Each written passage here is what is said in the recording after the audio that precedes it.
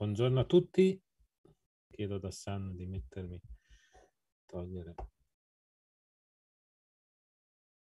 la condivisione. Buongiorno a tutti, eccoci per la seconda giornata di Summer School. Um, come vi eh, avevamo detto ieri, oggi eh, abbiamo la traduzione in simultanea, per cui troverete già attivi eh, in basso uh, nella vostra finestra di Zoom eh, i canali di traduzione, per cui scegliete IT per l'italiano eh, se volete avere la traduzione eh, del, um, di quanto detto dai nostri ospiti. Recording in progress. Um, e um, inglese se volete sentire in inglese la traduzione dei nostri ospiti italiani, non credo che sarà il caso, però magari c'è qualche ospite invece è qualche eh, straniero che sta uh, seguendo. Um, nel caso abbiate problemi di audio, uh, nel senso che su, in sottofondo sentirete comunque la base dell'audio originale, um, potete rimuovere l'audio originale sempre nell'icona della traduzione disattiva audio originale. Uh, se disattivate... If you deactivate translation, then you can hear the translation in English or in Italian according to the button you choose. I don't know whether I have to remind you of anything else. Um, you, um, Hassan, help me if I have to add something. If you don't have the Italian channel uh, active, it means that you haven't updated Zoom. So you have to update Zoom and get in again. The Italian language is only in on version 4. Uh, questions have to be uh, sent um, on the chat. You can book uh, your question. If you want to um, speak directly, you can um, book your uh, intervention on the chats. I don't think I need to say anything else. So I'm giving the floor to Alice Damiani, who is coordinating this session.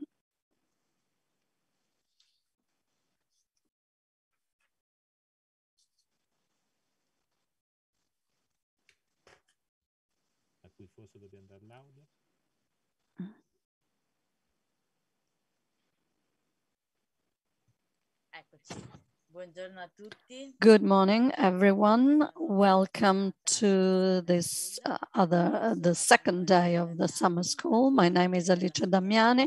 I'm part of uh, the association PSINA, and I am going to coordinate this first session.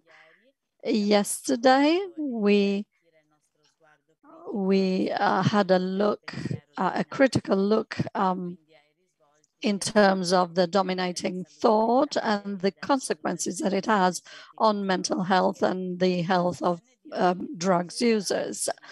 The session today will be very rich and will have the aim of um, uh, of uh, having a look at the um, approaches that are parallel to the mainstream purpose. Uh, we will talk in particular of harm reduction and recovery.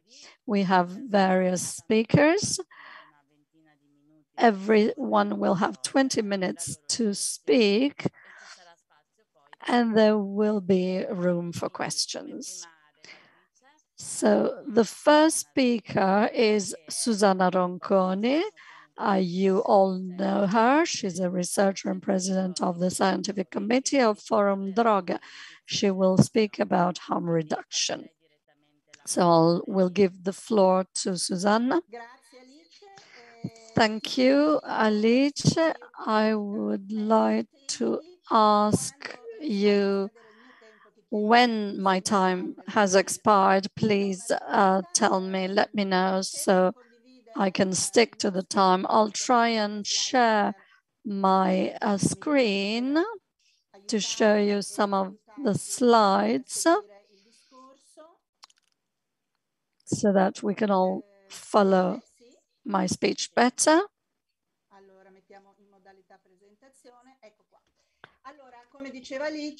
So as Alice was saying, today is uh, a, a, day for proposals because uh, um, in terms of all the critical issues that we have uh, um, looked at yesterday, today we can we are finding out that there is an alternative to the dominating approach and there is an alternative to the criticalities that we have discussed yesterday. As to um, drugs policies, uh, the alternative strategy that we are um, assessing uh, is the harm reduction strategy. I would like to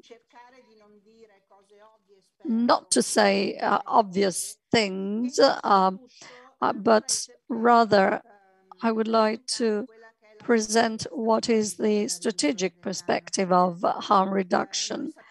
Because we know in Italy especially, and I can assure you that uh, because I have a European look, not only in Italy, but in particular in Italy, we have the difficulty in promoting harm reduction as a, a, a turn of paradigm, a paradigm shift as a policy and not only as a, a, um, a set of interventions. So I would like to go through the process in order to understand how harm reduction is a strategic uh, perspective and how it gives us the possibility, it points to the possibility of governing um, the phenomenon of uh, drugs use, illicit drugs use, uh, in ways that, that escape the traps of criminalization and pathologization. I will also go through the history um, no doubt harm reduction uh, has a, a, birth date and that a push to its birth was given by the AIDS crisis. In the 80s, we can remember the explosion of AIDS, AIDS uh, there was no effective treatment for AIDS, and we can remember that among drugs user, especially injection drugs, um, in that period we had a number of deaths, which was quite high, and therefore AIDS was a real crisis. So no doubt there is a birth date of harm reduction, which has to do with a healthcare problem. What I want to say is that uh, immediately, you will see in these slides, there are some quotation going back to the 90s. Harm reduction was proposed not as an intervention of healthcare um, mode, a healthcare strategy, but rather with an outlook of a, a, a natural a subversion of, of drugs. So what happened at the time was that the hierarchies of objectives of drugs policies were rewritten. So the first a provision was the Merseyside, the Liverpool region in England, where uh, the authorities of the region established that the priority at the time was not having a policy, policy of abstinence, but rather taking care of healthcare of drugs users. This has changed the outlook, has changed the objectives because at the time, we, we're talking of mid 80s here, saying that uh, drugs policies uh, did not have to prioritize uh, um, uh, the, the drugs policy was not a technical choice, was actually a revolution of policies.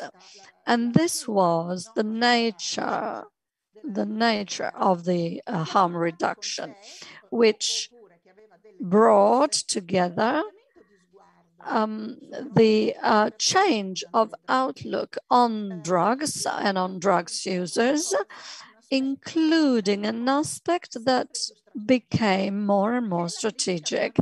That is the critical, the criticism to the drugs, um, the medical drugs uh, being in the center.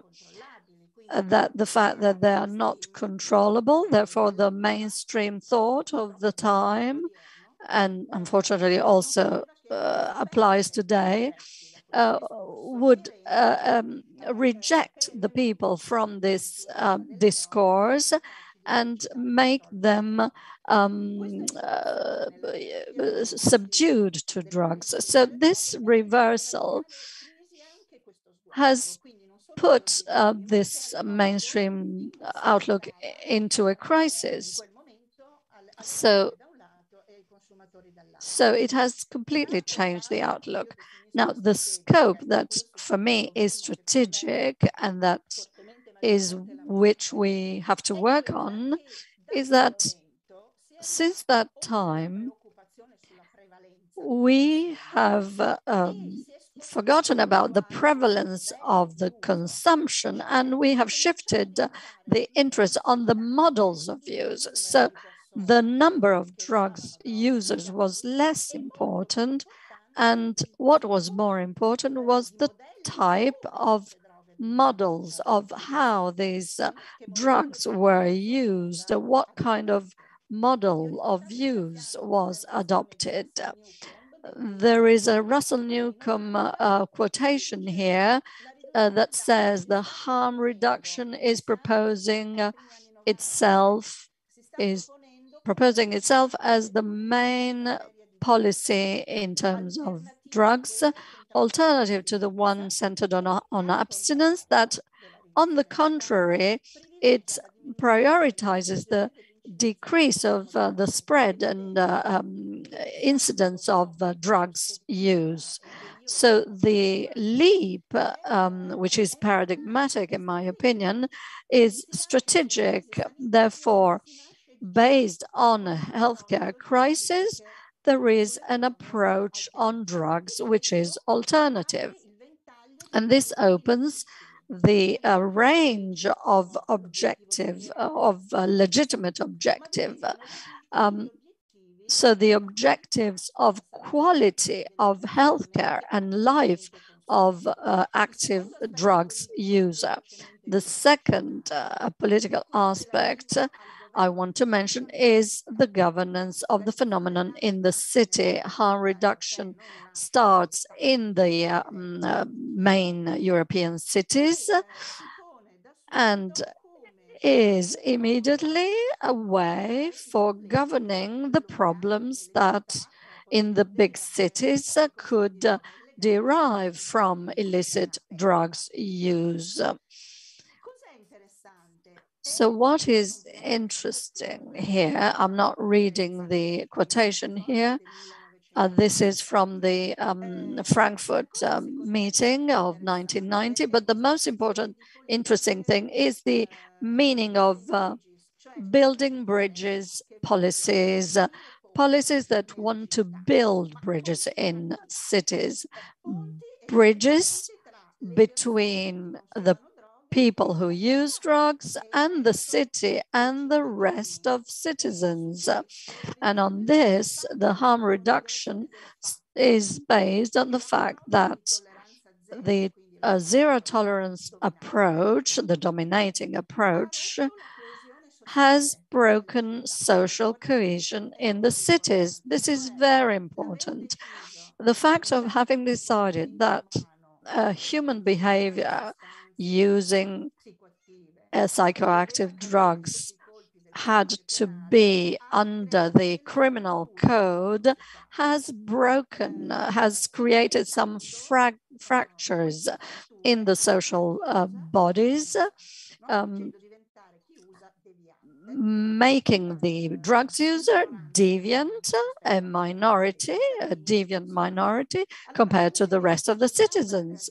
So there is already an awareness, political awareness of how this a fracture of social cohesion uh, is to be blamed to wrong policies and how harm reduction can have this power of um, uh, bridging the gap.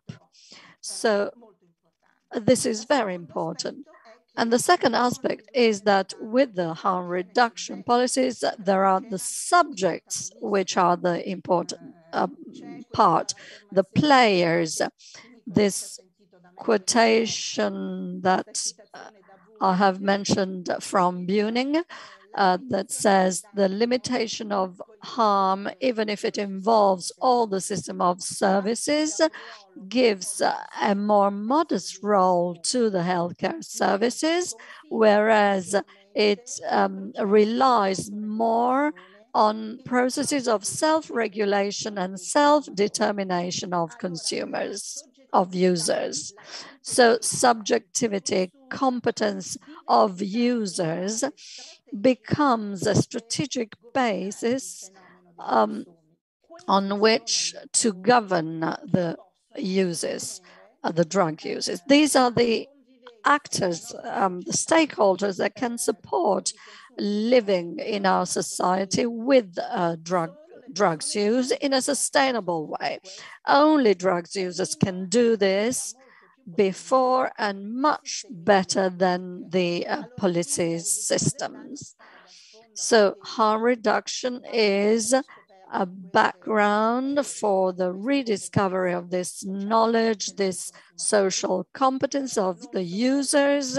I won't talk about this because there's no time, but and that's when the peer support starts, the capacity of creating solidarity networks to ratify the competence, uh, competencies of uh, drugs users, the claiming of rights, because of course this protagonism clashes with the stigmatization and with paradox, uh, and the harm reduction has quoted this um, stigmatization is an enemy of this protagonist. Therefore, the struggle to stigma is an important part of this policy. And there is all the reasoning that we all have developed, especially in the last um, decade, on the subject of controlled uh, consumption and self-regulation. Having discovered that drugs users are not dominated by the chemistry of substances, but can um, have a control and a regulation, uh, this capacity is actually um, put into the center. And, the, and so we also start talking about a functional use of uh, drugs uh, drugs can create uh, problems, can cr create risks, have potential risks, but they have some benefits. They are used for some reasons. There is a research on the subject on this, and this has been the scandal of the harm reduction uh, pronouncing uh, this word functional use and benefits of the drugs is a scandal that is culturally very meaningful and very important. I cannot go, okay. Okay, the last factor I want to stress is that the setting is a protagonist as well you can see the uh, photo of Norman Zinberg. Uh, he was important uh, to uh, speak about uh, drug set setting, and he's always claimed that setting uh, from mainstream um, policies was um, left behind, whereas drug set setting makes it rediscover because the setting where drugs are used uh, can be settings that can maximize the harm or minimize the harm. And this what makes the difference. And there are, of course, um, responsibilities um, of uh, policies harm reduction doesn't um, exclude criminalization, but it actually owns it because harm reduction knows that um, criminalization is an important factor and that uh, the impact of criminalization has to be reduced. And that's also where the um, political values of harm reduction lies, lays. Mm, and you can see here a Pat O'Hare quotation that says, since the first and more obvious damage uh, related to the consumption of some drugs is criminalization, the harm reduction strategy um, asks a question. Are the laws launched to contain the harm caused by consumption or do they express a system of dominating values? Of course, it's a rhetorical question, and we know the answer. But this is important because harm reduction does not uh, pretend to um, intervene and excluding this factor, which is criminalization of drugs users. The last aspect, the importance of uh, social uh, context, social setting, as a social learning setting, as a setting of a cultural creation, creating a culture on drugs, on each uh, drug, um, means to uh, acquire what Zimber calls uh, ritual norms of uh, the uh, social settings that help drugs users to use in a sustainable way. And we can draw a parallel with the alcohol, especially in the Mediterranean uh, countries where it is uh, a substance, but it is also food, um, which is backed by a culture um, that helps everybody to uh, use uh, alcohol in a sustainable way. So harm reduction uh, makes the setting become a, pr a protagonist and gives us another perspective. I am concluding saying that a risk uh, that we run is to medicalize harm reduction, forcing it in the um, uh, healthcare interventions, uh, which are important, of course. So we all know that. We all use them and um, propose them, but we must be careful not to lose the uh, aspect of policy um, and parad um, paradigm, of, which is the mo most promising for the future, because we don't believe that future is what UN has uh, indicated, a world without drugs. This is impossible. We know that. So our alternative is a world where drugs use is sustainable. And that is why we want harm reduction as a strategic uh, proposal. In order to um, uh, to control socially this uh, the governance and also uh, to um, eliminate the uh, pathologi pathological um, aspects and criminalization aspects. So using drugs in a sustainable uh, way, um, valorizing subjectivity, favoring social cohesion, and the production of um, uh, culture. So um, this is a nice uh, photo of Carl Hart uh, that I want to conclude with. In his last book, if you have read it, which is called Drug Use for Grown-Ups, finally, uh, drugs use for adults, where the concept of adults uh, is what we have said so far, competence, control, self-regulation, and so on. Carl Hart is wondering whether we should go from harm reduction to what he calls happiness, healthcare and happiness. He says many of us who are working uh, agree with, uh, with him. It is probably time for emphasizing the um, proactive value of harm reduction that goes from preventing harms to promoting uh, a sustainable use. They're not separated.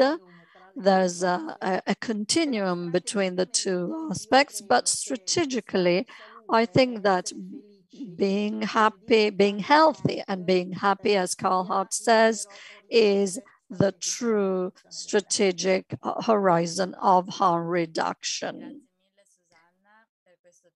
Thank you for this intervention. Uh, this was very rich and dicevo i partecipanti se hanno già qualche domanda la possono scrivere in chat per non perdersela e dopo ci sarà tempo per rispondere. Quindi dalla riduzione del danno, quindi a questo pensiero diverso per chi utilizza sostanze, passiamo ora con Ugo Zamburro, psichiatra del Dipartimento di Salute Mentale dell'ASL di Torino e soprattutto anche promotore del caffè Basaglia di Torino, a parlare invece di recovery per quanto riguarda quindi la salute mentale. Bene, mi sentite? Sì, sì, prego. Perfetto, allora buongiorno a tutti. Prima mi viene da dire quando Susanna stava parlando dell'ONU che dice che un mondo senza droghe è l'ideale, stavo giusto pensando all'Afghanistan dove da 8.000 ettari sono passati a 23.000 per l'uso, per la coltivazione dell'oppio, comunque va bene. C'ho la maglietta qua per ricordarmi che io sono un partigiano, odio gli indifferenti e quindi questo mio intervento sarà su quella linea passionale, anche perché parlando di psichiatria non stiamo parlando di una scienza, stiamo parlando di ben altra cosa. La parola recovery è una parola inglese con un'accezione molto vasta, tant'è vero che è difficile. Scusami se, scusami se, ti interrompo, ti chiedo se puoi, siccome c'è la traduzione simultanea, se puoi parlare un po' più piano, che così certo. più facile. Grazie, Grazie sì, sì, chiedo scusa. Allora, la parola recovery è un termine inglese che significa guarigione, ma in un'accezione anche più, più ampia, più vasta, che possiamo tradurre anche con qualcosa che significa recupero, ristabilirsi. E è una parola che è molto importante nel campo della salute mentale. Very much important today because it opens something different, which is uh, a cultural change, which is needed. As all the important words, recovery, can have different meanings. The system uses the term recovering in the sense of uh, clinical recovery. So the elimination of symptoms, the improving of the clinical situation, and the improving of the social functioning and personal functioning of the person. But this is something which can cause medical and biological problems and it is focused on drugs and on diagnosis. But we know that from different studies that this is something uh, arbitrary, while if we are talking about a diagnosis of internal medicine is the same for everyone in the psychiatric system, we found diagnoses where there are people with stories, social functioning, and personal functioning, which are totally different. The word recovery, as I mean it, and uh, how it is meant in the best meaning, let's say, it's linked with different meanings. First of all, the person cannot just be seen as a person with a mental problem because the person has got different identities. So the risk of the treatment, which is done nowadays, it is considering just the part of mental illness and in a way, let's say, um, switching off the person.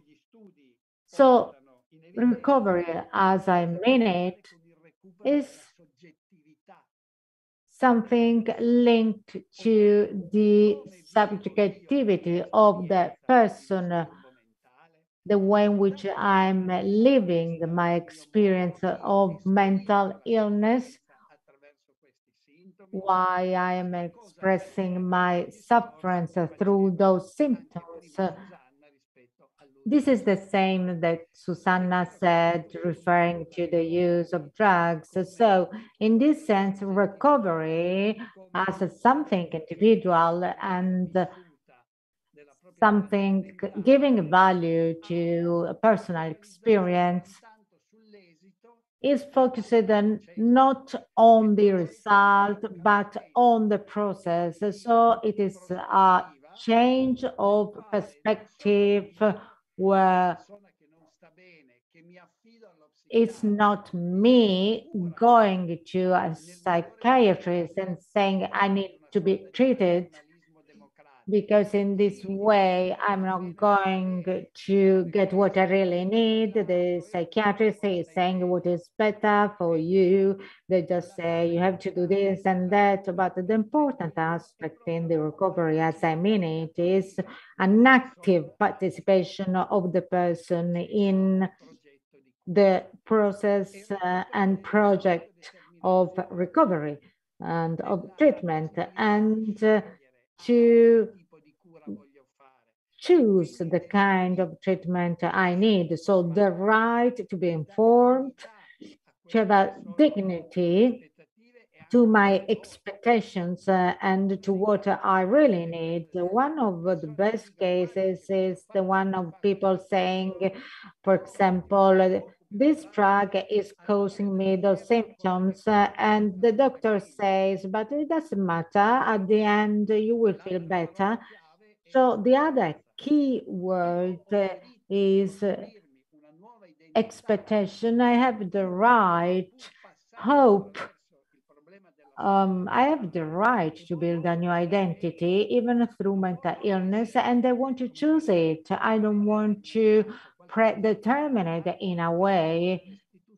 It is something which is also linked to the power and the exchange of knowledge also. Recovery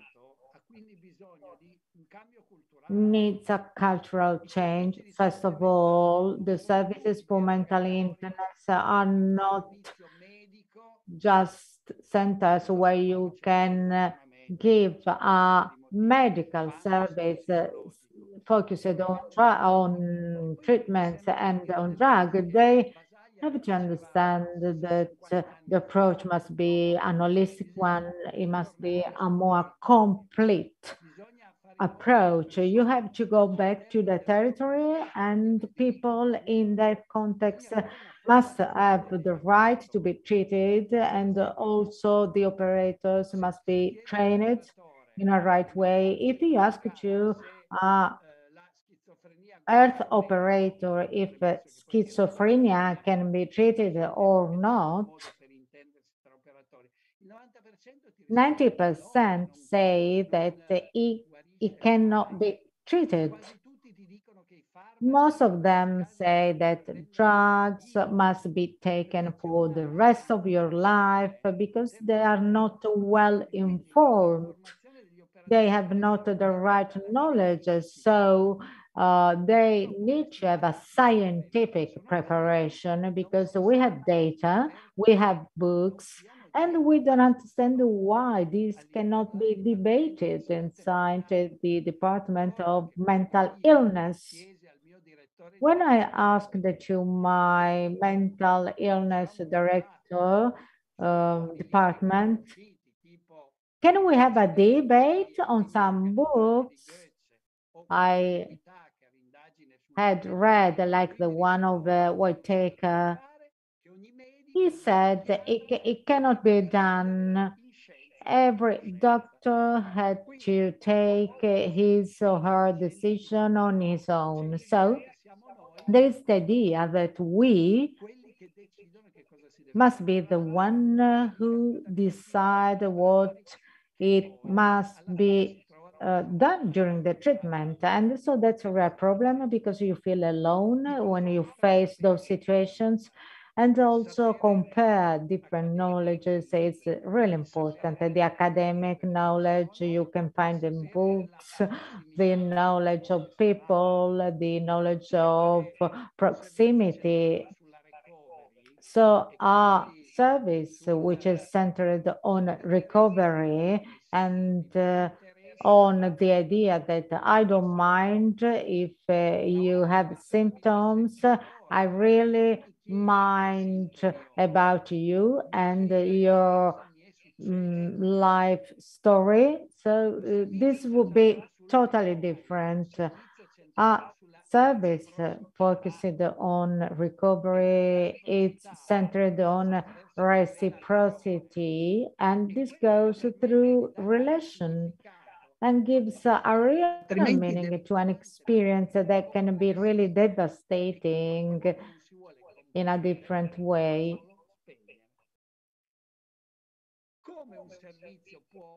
How can a service go in the direction of recovery?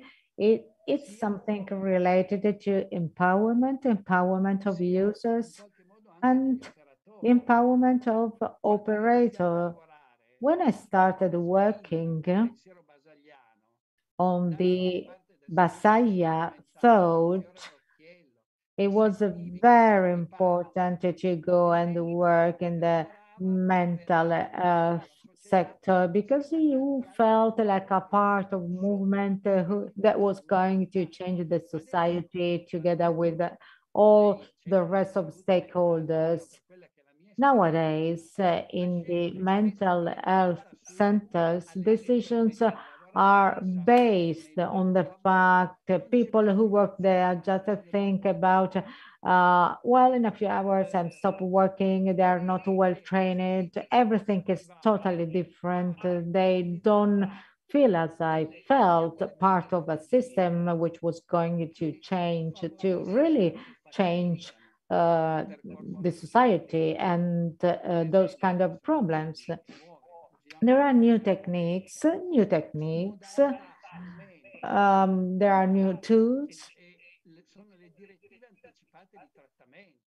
The anticipated directive of treatment, you must sit in a table with the person who must be treated and the other important person is life and you talk to them and you have to tell them, uh, I think this is what you are going to need in the following month. Maybe we're going to have those results. Maybe we can have those problems with the drugs. I'm going to give you. We can stop and analyze what is happening uh, and it is important what you think and what your family think. So it's a totally different approach. You are not saying to a person, this is what you must take, and then we will see. This is a way of starting a real and true relationship, which is important for the person who is going to be treated. And as Ron Coleman said, uh, is uh, uh, an ex-patient and started the movement of uh, voice hearers. And he said that the most important problem in the mental health center is that when you you go there, it's like you um, you're gonna lose your hope. You feel like there is nothing to do.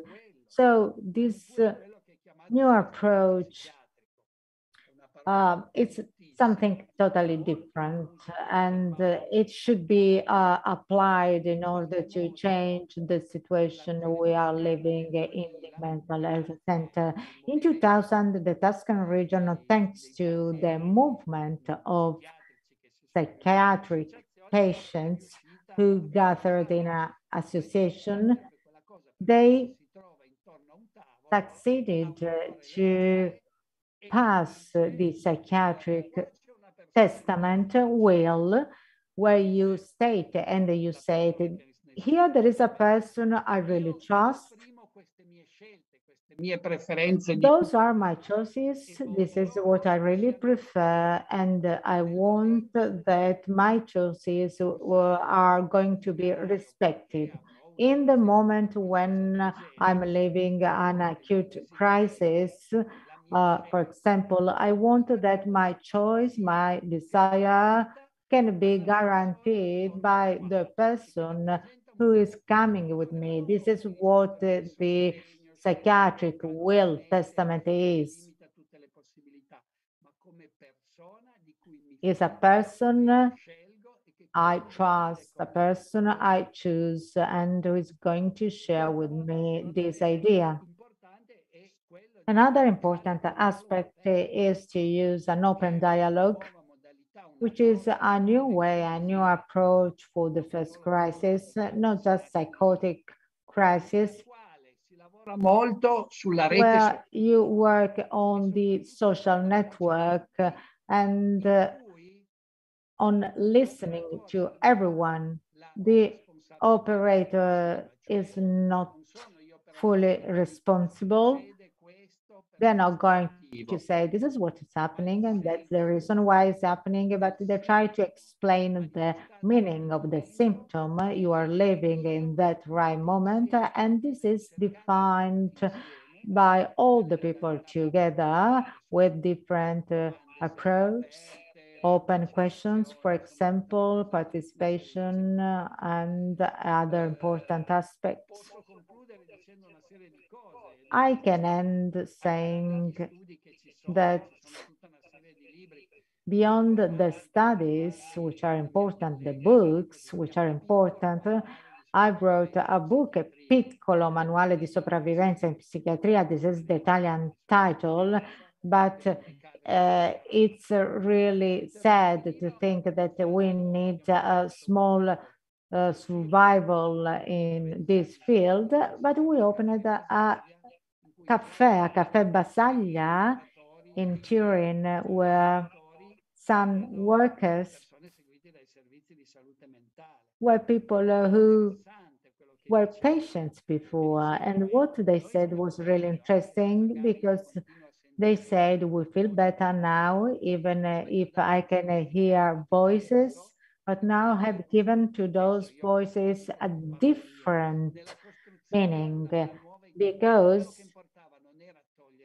it was not important to eliminate symptoms, but to build a new identity where I could see myself as a, a, worker, as a person having some skills that were recognized through a wage. This was the most important part of the therapy for the person itself and all, for all the other people who um, got to know this experience and so how this person uh, could change his life, could improve his situation, could change also the prejudice referred to the psychiatric um, disease. So if we work on the stigma, we can create a more um, strong and social effect.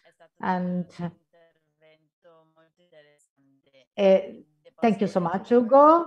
Thank you so much. It was very much interesting speech. Uh, recovery is really a fascinating issue. And what you said was really, really interesting. Già dai primi due interventi, il tuo e quello and di Susanna. with your speech and Susanna's speech, there are a lot of things in common, the use of drugs and the mental health. And you put together how the individual is important and how the symptoms are not important. Harm reduction is important and not just withdrawal, but the meaning uh, of the entire life of the person. So subjectivity is really important. It's important to put the person in the center. I give the floor now to the protagonist of this session, to Valentina Mancuso of Chemical Sisters, who is going to explain what they do, what's their approach, and uh, what they are living. Can you hear me? Grazie mille Alice, e grazie mille a Thank tutti you so per much, Sister. Per me è veramente un piacere oggi eh, rappresentare un po' quella che It is a pleasure for me today to represent the voice of all the consumer. Uh, it is important uh, to be here and to um, give our vision because our vision is the one that uh, of those who have to face uh, the issues uh, related to health in general uh, and uh, the health of users, the issues of uh, drugs users. One of the main criticism that I would like to do with you is uh, a reasoning on how uh, addiction is uh, seen, is viewed, and how an addict is viewed at the social level, but also in the scientific uh, community. Um, and how this can uh, uh, lead uh, to um, unpleasant consequences like um, the stereotypes uh, um, on drugs users, as it happened also in the psychiatric uh, field um, for people who have uh, special health problems, uh, mental health problems. So one of the main criticism is uh, related to the diagnosis, um, the uh, disease model. So I want to pick up what uh, Dr. Zamburru was saying that if with the approach of recovery, hearing voices is not a disease, uh, but an experience uh, for those who live, which can be integrated in one's own life. I think that the same can be said uh, for drugs um, use. Uh, the drugs users are not necessarily um, uh, ill, but uh, have decided to um, have an experience that can be integrated in one's own life. And it is not impossible that a person with some levels of seriousness of addiction uh, cannot lead a normal life. So the disease model um, hinders this vision this view. In fact, uh, the addiction is uh, seen as uh, um, a disease, and uh, uh, the ad- addict uh, is seen as a, a, an ill person. And if we look at alcohol addiction, for instance, is quite clear.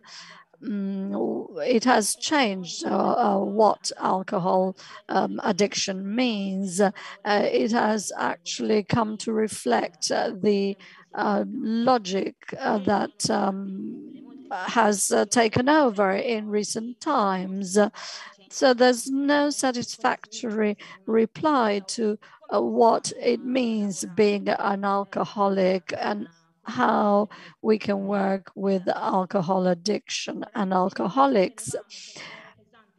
Uh, when we thought that uh, drinking was a problem, we thought it was good to punish um, alcoholics. But um, when uh, um, drinking alcohol uh, was a disease, um, alcoholics had to be rehabilitated. And the same happens with drug users. So the change in ideology um, has uh, reflected and has reflected itself in the trend that uh, um, we have seen in the areas, in the other areas like medicines, uh, sociology, and so on. So this change of paradigm is happening very slowly as far as drugs use is concerned in some parts of the world and not certainly in Italy. So we need to define addiction that goes, that starts to destructuralize the sense of uh, addiction uh, intended as illness, as a disease.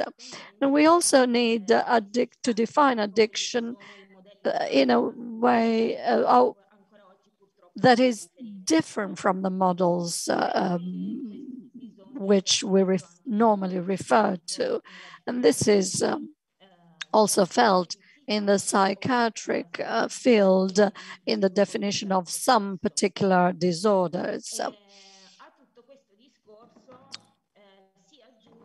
Now we have to add also the dilemma of the double diagnosis, which confirms how addiction is uh, coming back to be uh, related to uh, psychiatric um, um surgeries. It's, uh, it's a very delicate issue. And this leads, uh, actually brings us back into the past when uh, drugs users were closed in um, mental health hospital.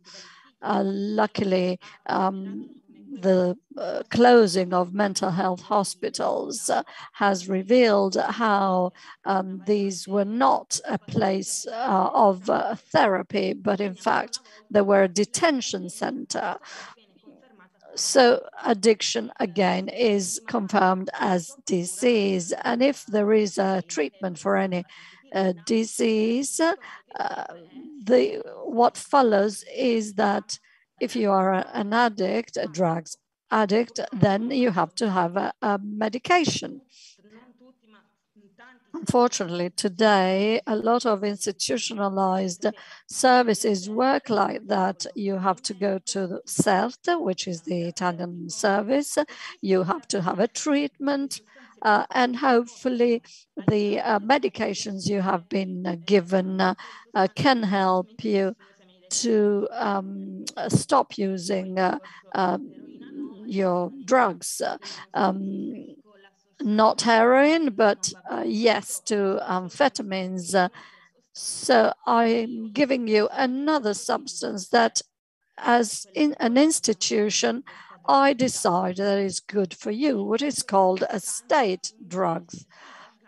And this substance uh, can create another type of addiction from the uh, service, from the state service, with all the consequences uh, Dr. Zamburru was um, talking about uh, um, medication-centered uh, policies, which is unfortunately very bad. It's a perspective that um, has only one cause. This perspective was used initially uh, as we said, um, for alcohol use when the behavior uh, became uh, a disease and not simply a vice. Uh, one of the first scholar, scholars uh, who tried to change this approach was Ausubel, a US uh, psychologist, who in one of his writings said, um, mentioned a multi-factor um, model. He was um, defining the various types of uh, addictions, and there are many causes for these disorders. Therefore, the solution cannot be mm, one directional.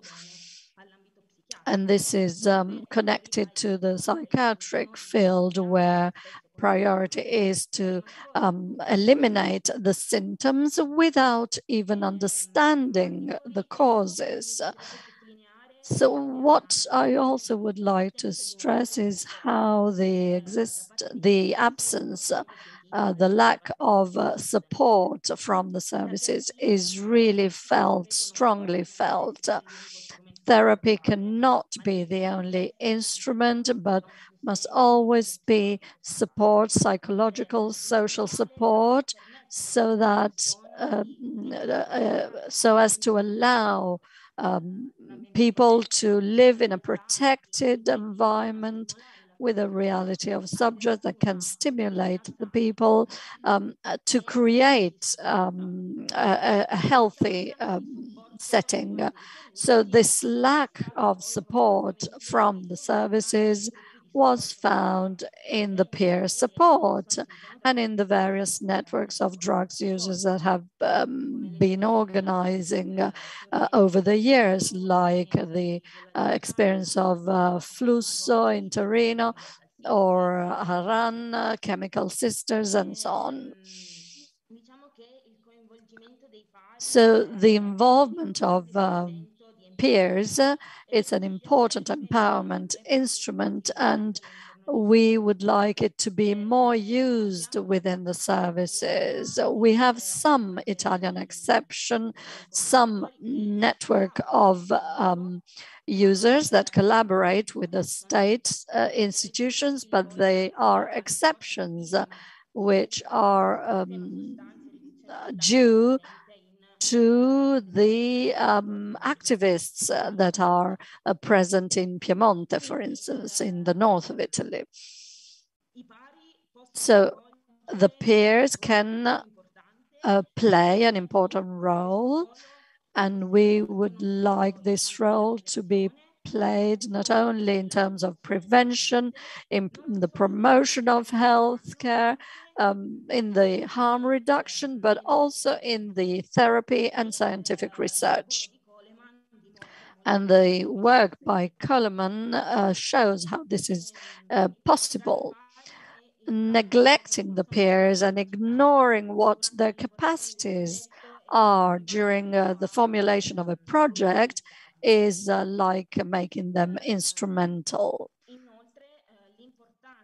So the importance of uh, peer uh, networks uh, in all the fields, in whatever field, is also used uh, to be uh, represented, to be understood, not to feel lonely. And this is very important in order to enable people to accept themselves, to accept this part of themselves without any shame, any uh, need for hiding.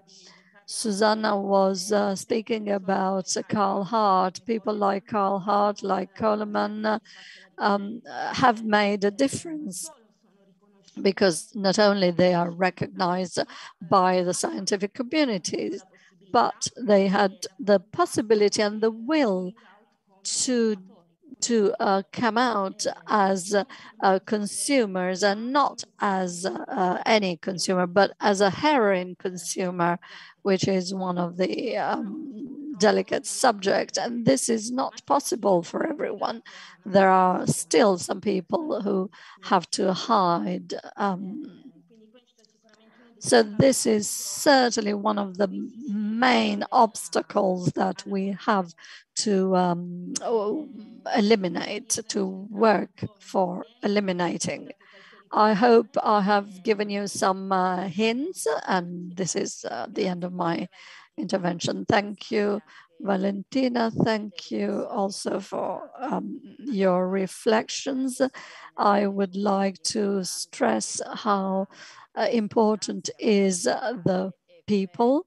Um, and as it was already mentioned, how uh, is the person uh, who knows what is good for oneself, certainly professionals um, of uh,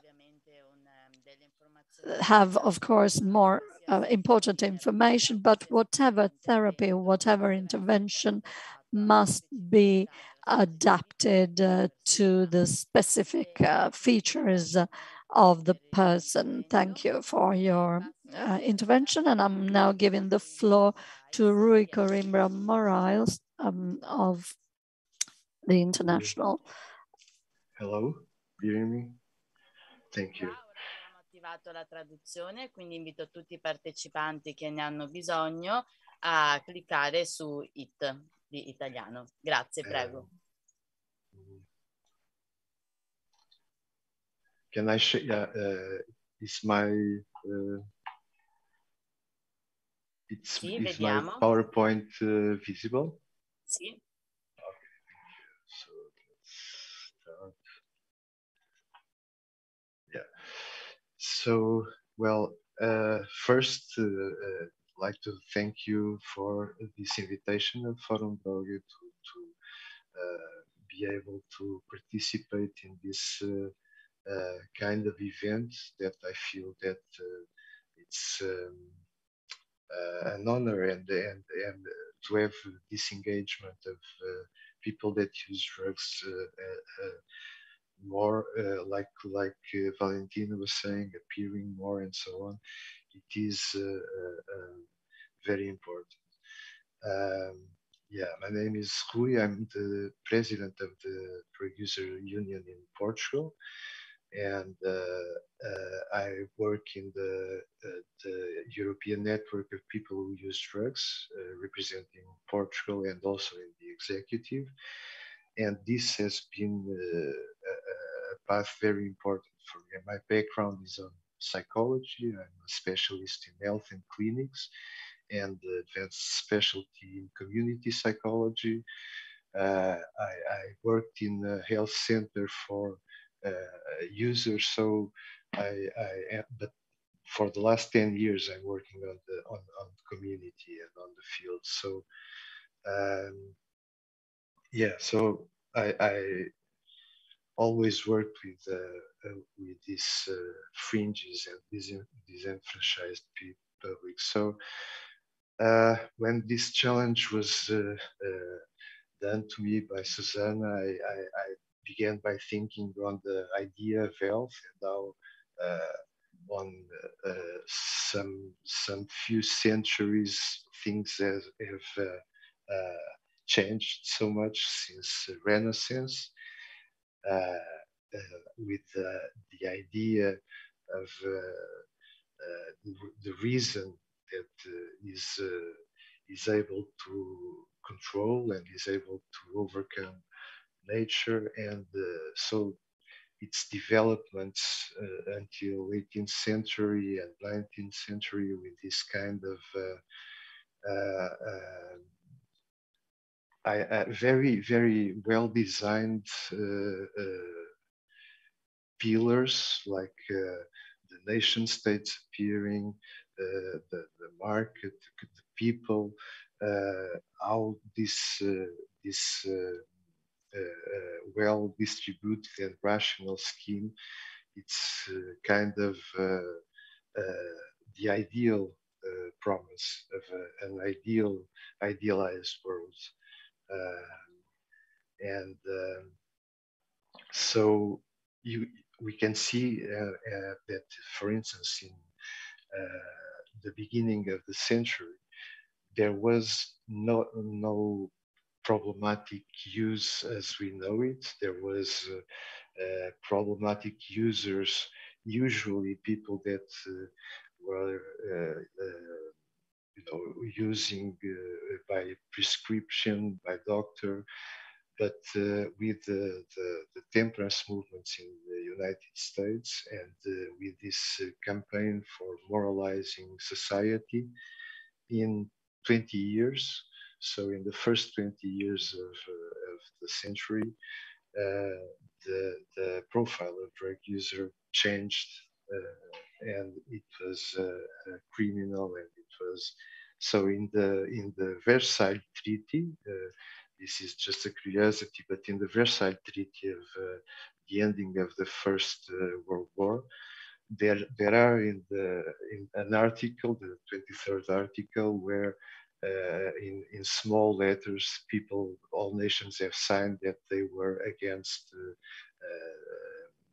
the, the commer- commercialization of uh, opium and other dangerous drugs.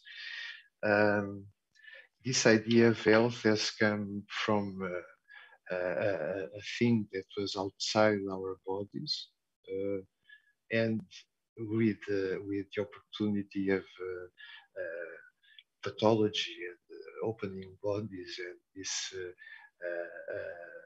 clinical medicine, scientific medicine, the, the, the, you know, you lose the smell and the, the touch that were the principal means of diagnosis and you change to, to the vision and you change to the symptoms and, and, and then you exclude from society a group of people and, uh, and create this kind of systematic uh, uh, uh gathering and collection of information that that uh, then with uh, this uh, this idea of rationality and this idea of ideal taxonomies, bring also from botanics, you know, we have then the the, the, the no, nosographic uh, entities of uh, disease. Disease is created, disease inside the, the, the, the organism.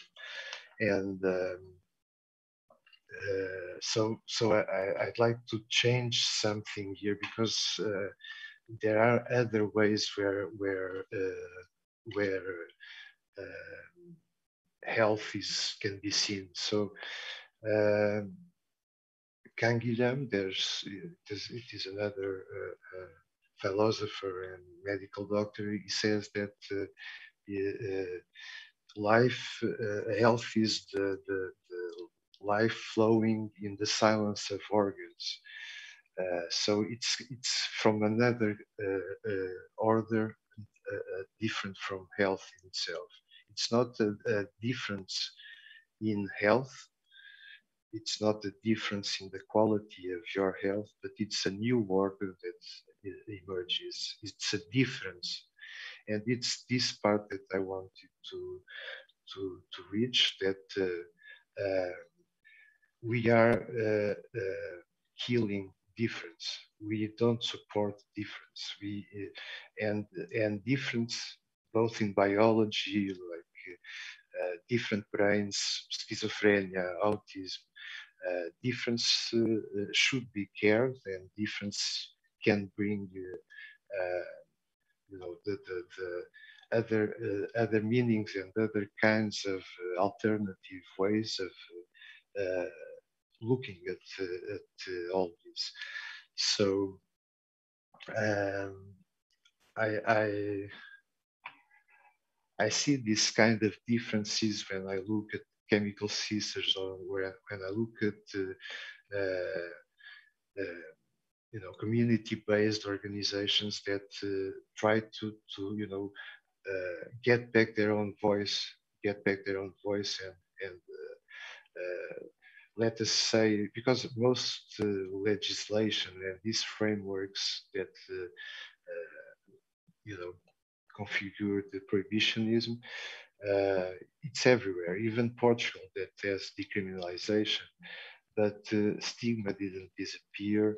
And uh, there's uh, this kind of uh, uh, overcome of the, we still have the stigma of criminals and bad character and lack of will. And now we are also sick people. It's, we, we have to change for the, the good, good health and well-being paradigm you know, maximize pleasures, maximize benefits, if you wish, and not even harm reduction. Now, for me, it's already uh, the questions of language. It's already uh, something that is negative, and I think that uh, uh drugs and altered states of conscience doesn't have to be uh, uh, seen like this. So we have seen that drugs were connected to uh, just an elite and of course with democratization of societies and globalization made the, made the rest in terms of uh, a use of drugs that is not coded, that is not uh, uh, framed in some you know mystical approach or medicine approach. Um, so so another thing I, would like to to highlight is uh, is uh, things like uh, the, the, the manual of of diagnosis of diseases. You know, diseases that appear then diseases that disappear. It's not a, a scientific basis, it's a consensus basis manual. And uh, so you, you can see over the years uh, uh, diseases disappearing like uh, homosexuality and then other things appearing like uh, addiction to sex or addiction to uh, so, and uh, we are at risk again of the, the brain damage uh, model to come back with this uh, idea of the center of reward in the brain that is different. Of course, it's different. Uh, but if you go to see the brains of the, the taxi drivers of London, they have uh, uh, a part of the brain that is more with more cells, you know, that, and you don't call it the taxi driver disease. Having a difference in the brain, having a difference in the way you live, your lifestyle, that should not be uh, a thing uh, immediately for exclusion and labeling. And it should be a thing to be cared about and to be looked uh, uh and to be supported in most cases. Uh, I'm, I'm yeah, I'm almost finishing. This is uh, an idea that I uh, took from uh, uh, an influencer from YouTube, and we was talking about the less.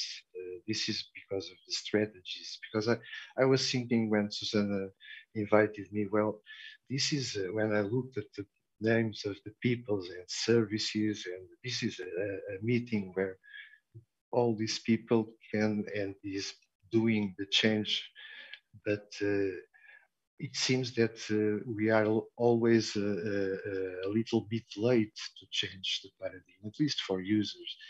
And so the, what uh, what says is that uh, we, we maybe we are losing too much time in this uh, um, uh, fights about ideology and about uh, you know in in a in a party almost party political level. And uh, we should find this kind of flight lines these lines of liberty these lines that sometimes uh, uh, uh, overcome this framed already language this framed look that we have on society. Um, and maybe the, the, the, strategies and uh, I think on a kind of uh, know, I think there's a good knowledge, uh, a good epistemic knowledge from the left, of course, and and I think that there the humanistic approach, this kind of thinking about solidarity and uh, uh, that uh, traditional left has, have to have a bigger impact on on how we see and how we live with one another. And to see lots of people like me that uh, uh, have not the same luck that I had, and uh, because of stigma, uh, all the, their, their lives uh, is, uh, you know, changed and so on. So how can this be seen without social determinants? How can these uh, poor people be chased, you know, because of being uh, being put out of uh, social housing because of using drugs, and even being put in prison because of using drugs. But in Portugal, there are still people that go to prison because of using, not because of, uh, of, of trafficking. Know, in, in 2017, there was 723 people that were accused of using too much. If you use too much in a decriminalized model, you should be uh, sick too much. So you, you should be um, needing more help. And again, 20 years later, we, we have the same debate, you know.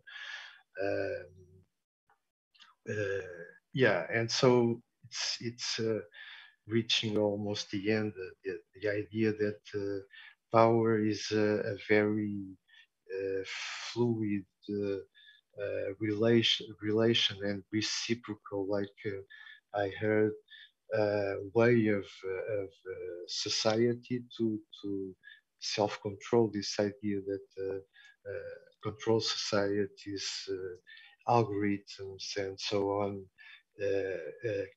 will will will limit your future scenarios. So things are are running so fast on on this uh, area of controlling that I feel that our you know human time is not enough to to stop what's happening. Uh, yeah, so just to end, and then I will be.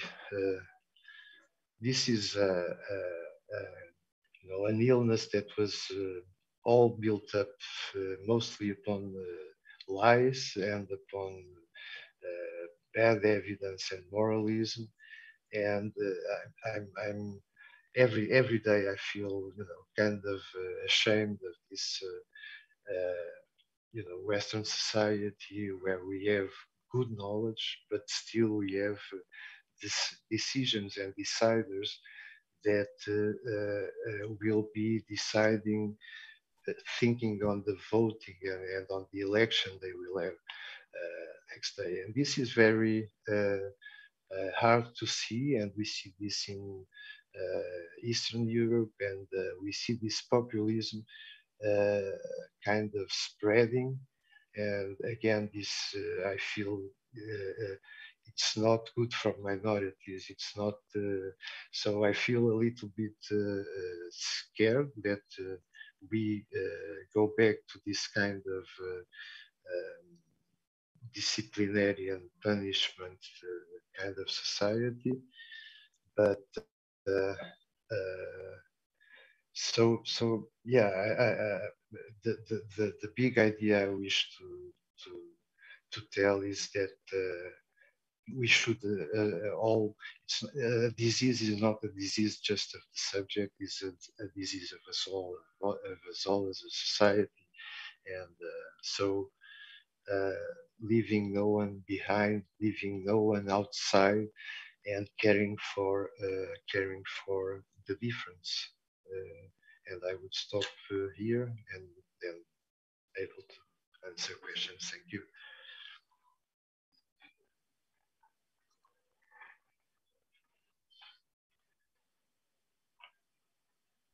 Grazie mille di questo bellissimo intervento. Thank you.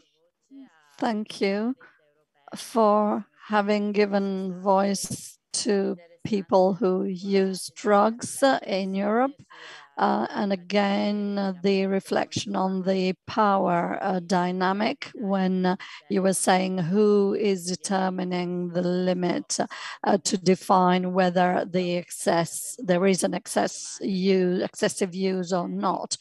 During the question time, we'll talk about that.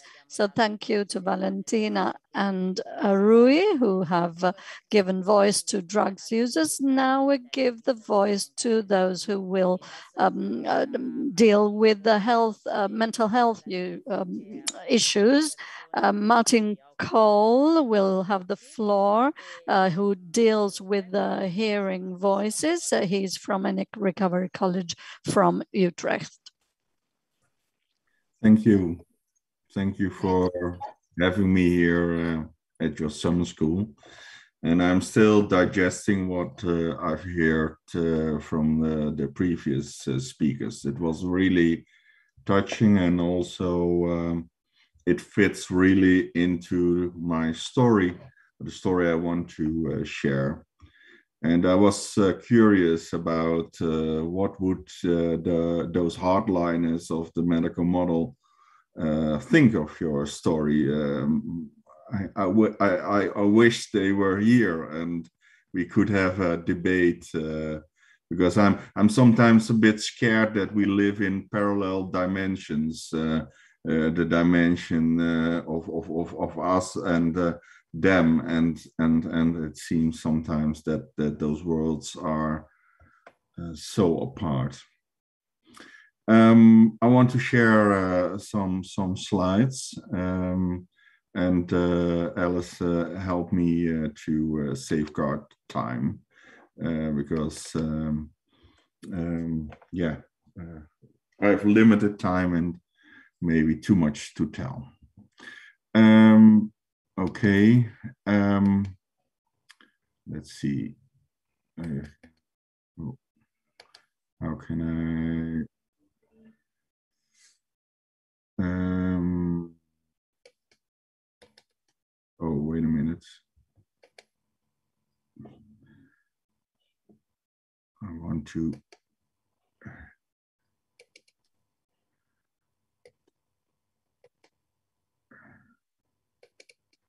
I can't. Um, Maybe on the bottom you got a small sign, the bottom of PowerPoint. Yeah. To start on the right bottom. Yeah, Here. that one. Yeah. Yeah, it doesn't respond. Wait a minute. I will Oh, close sorry. it. I will close it. Wait a minute. Uh, In any case, we, we can see it huh? and we can read. Yeah, but I can't control the PowerPoint. It, it is uh, jammed or uh, um, so I have to reboot it. I think. Wait a minute. Uh, let's see what. Uh, I'm sorry. Can I say just one more thing that I didn't say? I- se I- si riesce. Okay. Yes. while, while we're waiting, I, I was uh, thinking on uh, Valentina and the peer workers as a kind of uh, possible archetype for for uh, democratic participation because it's very horizontal, it's very uh, personal and relation. Okay, uh, are you ready, Martin? Yes. Um, uh, so I am uh, Martijn Kole and I will try to uh, talk about the importance of uh, peer support and peer support environments and why we so badly need those places. And I think it, it really uh, brings together what is is told by the previous uh, speakers. So I'm very happy with those stories uh, that have been shared. Um, but okay, I hope. Oh, wait a minute. I am Martijn Kole and I am uh, um, a person with a lot of lived experience within mental health service.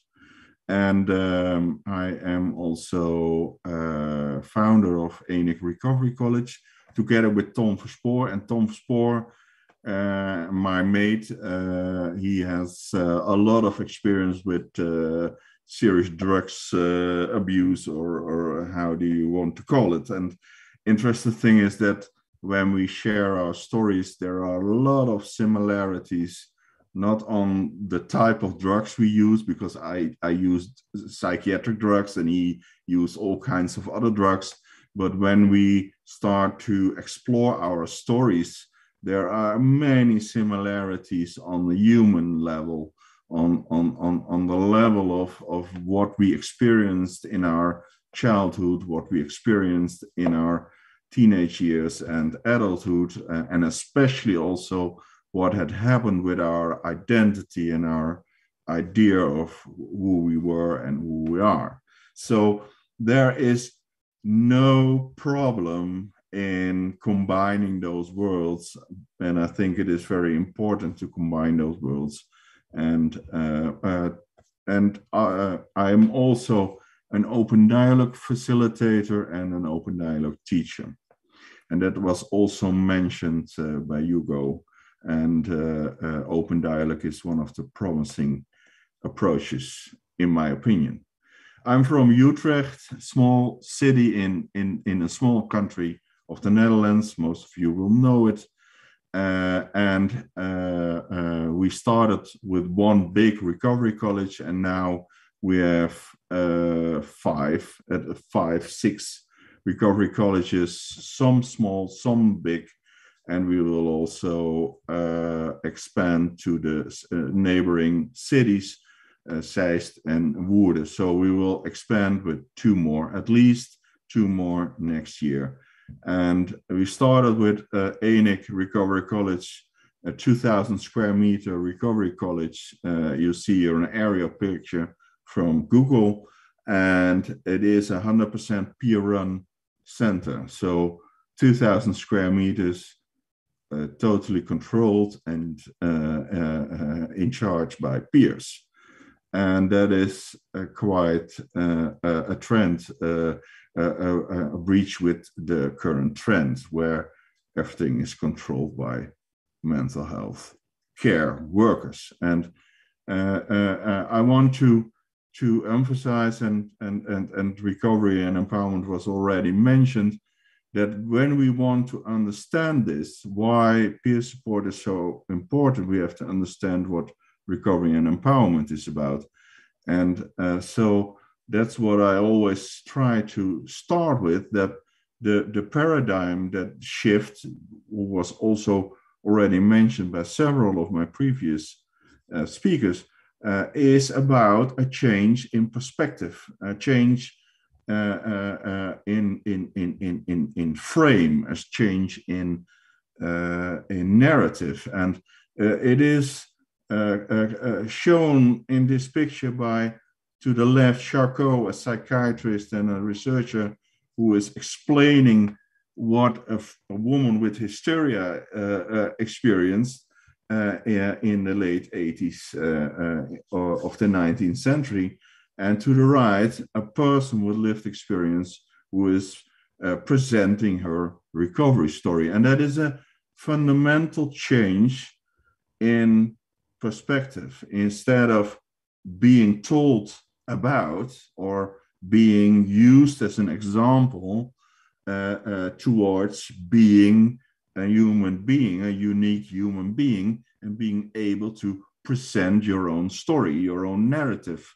And so, from being at an, an, an objective to a subjective, like like Rui told, and and I think this is this is not just a nice thing. This is really disrupting our current way of thinking and also how we want to uh, uh, uh, uh develop and and and and and, and uh, create services. Uh, and Rui also said, okay, we want to have more impact in the services. And I think when you invite that different perspective, that unique personal perspective, you will see that the current services will be uh, under stress because they will be changed deeply, profoundly.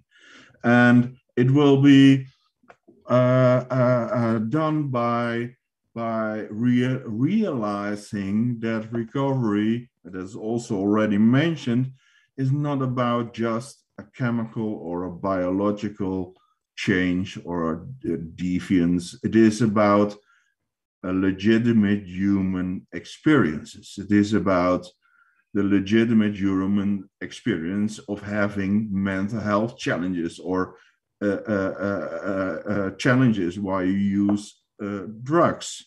Um, so uh, it is not about, it is more about what happens when you face such challenges that your life and your idea of sense of self is is is is under a, a huge stress. Or maybe you live uh, or you have lived in in in, in severe difficult situations and uh, uh, how uh, your relationship to society is is is is is is, is damaged and your idea and your identity is also uh, uh, damaged and so people have to recover of much more than just using drugs or using don't using drugs or having a mental health issue or having having not a mental health issue it is about how you relate to yourself and how you relate to society. And do you think there is a part in for you in society and, and how can I uh, uh, uh, recover from being this disconnected and, and especially when there's a lot of pain and a lot of stress and a lot of suffering, not only with people who use uh, drugs, but also with their environment, you see a lot of uh, exclusion. You see that that that society tries to to to to disconnect and say, okay, you have a problem, and we will take care of it by sending you to a, a, a service, or we will, uh, uh, but also by users themselves uh, whether they use psychiatric drugs or having a mental health issue or uh, drugs addiction, uh, we also tend to disconnect because we can't face the our feelings of, of, of shame, our feelings of, of, of, of loss of sense of self, our our, our, our, our pain, uh, and, and society can be a sort of mirror of our failure or our idea that we fail. So we, we, we retreat into our best known world, whether it is mental health service or whether it is a, a drugs scene, both are well known for and, and, and we are not not not not mirrored constantly with with with with the world we are not part of or we don't feel part of and this is a really serious issue and not uh, well addressed by regular services. Uh, so the personal dimension, the dimension of do I feel part of society and am I, can I be the person I want and am I able to find a place in society where I have a reciprocal, uh, useful a valuable role uh, uh, uh, instead of being just a one identity, a user of mental health service, or one identity, a drugs a user. Uh, when we stick to the one dimension, we will never, never, never reach recovery because it is too simple and too um, uh, uh, limited. So, um, and I think that that with the process of recovery, there is a lot of tension involved. And I, I, I had this picture, and I, we have not a lot of time because there is a world behind this picture. But this picture is about the space we we, we, we want to take the space for empowerment, the space for for recovery. And what we see is when there is a lot of suffering, we tend to retreat and to, to, to, to, to retreat into a smaller space and our environment will will dominate will dominate because they they want to solve the suffering they want to solve the pain they want to solve the problem and they will uh, uh, inject their values they will inject their meaning and their their their their ideas of what is the problem and and and what is the meaning of of of this situation and this story. And when people want to uh, uh, uh, recover they want to take space and they want to make meaning and they want to have an active an active position an active stance instead of a passive recipient stance. So they want to take space and that immediately will bring counter pressures from society. So uh, when people want to recover, we have to understand and reflect on how do we relate as an environment to the taking space of a person uh, uh, uh, uh and his, his, his, his, his, his ideas of trying to recover that will bring tension with its environment. And we have to reflect on that because with a lot of tension in a social context or within the services or within uh, the users that, that, you're part of,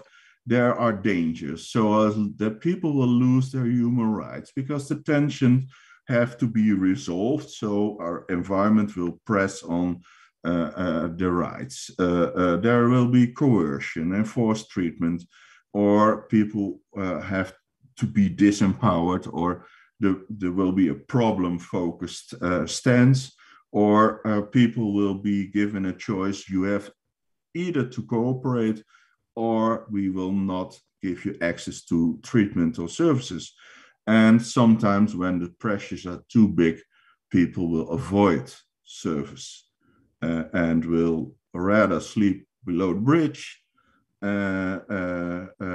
than to go to a mental health service or a addiction service because they feel not the space they can uh, uh, need, they need to be. So uh, uh, ENIK is based on that principle, a recovery college where there is space.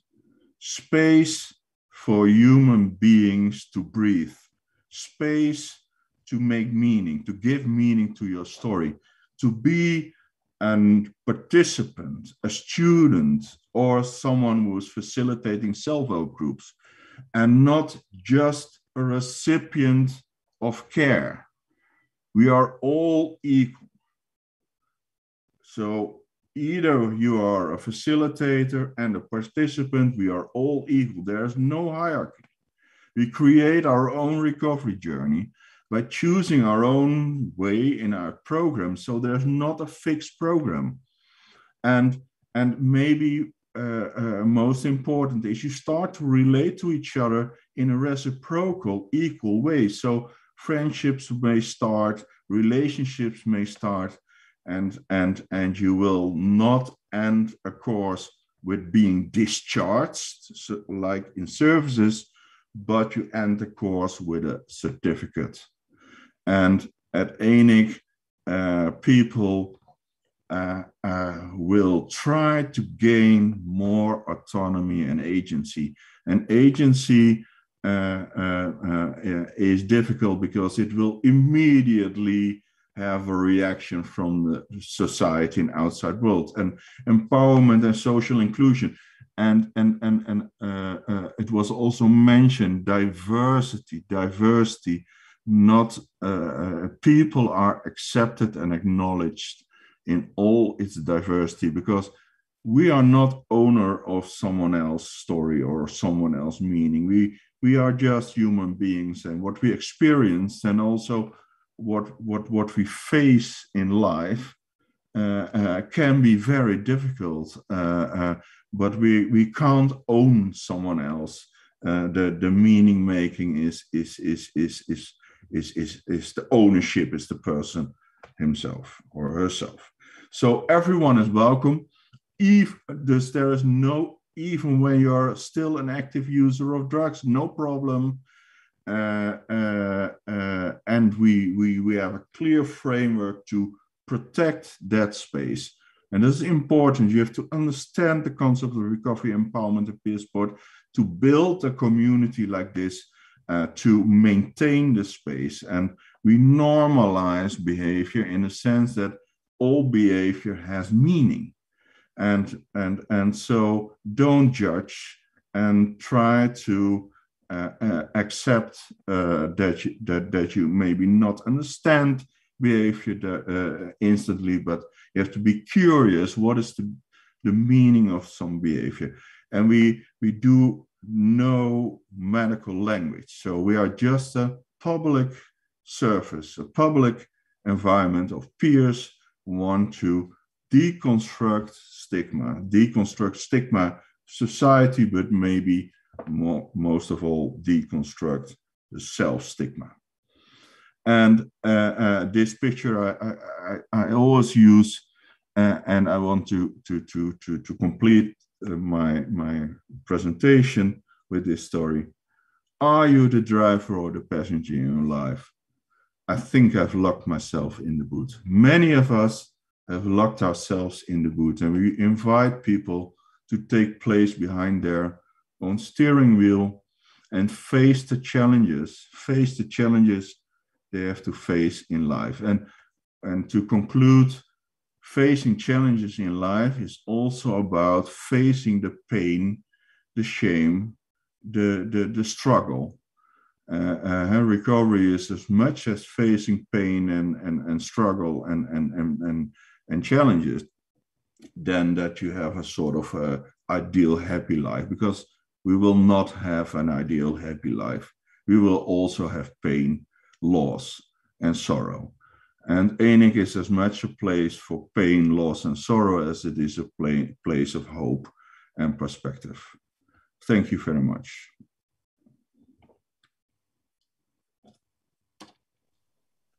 Grazie mille a te di questa bellissima presentazione e di aver condiviso con noi questa esperienza. Thank you for this uh, um, wonderful uh, presentation.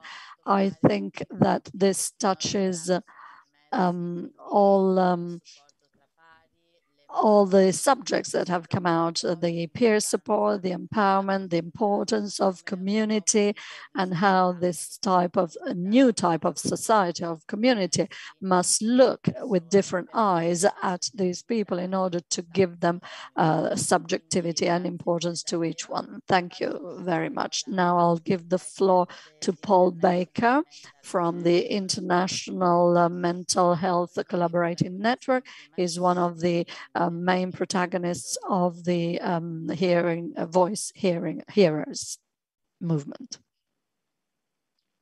Thank you, Alice. Uh, yeah, so much to talk about and so little time. Um, I, I, I, want to start with, uh, I'm going to put some little uh, messages in the chat, which you, will be able to see. But the first thing I wanted to talk about really was um, switching the debate around the other way, which is an important starting point. In my country, in the United Kingdom, six million adults are currently taking antidepressants.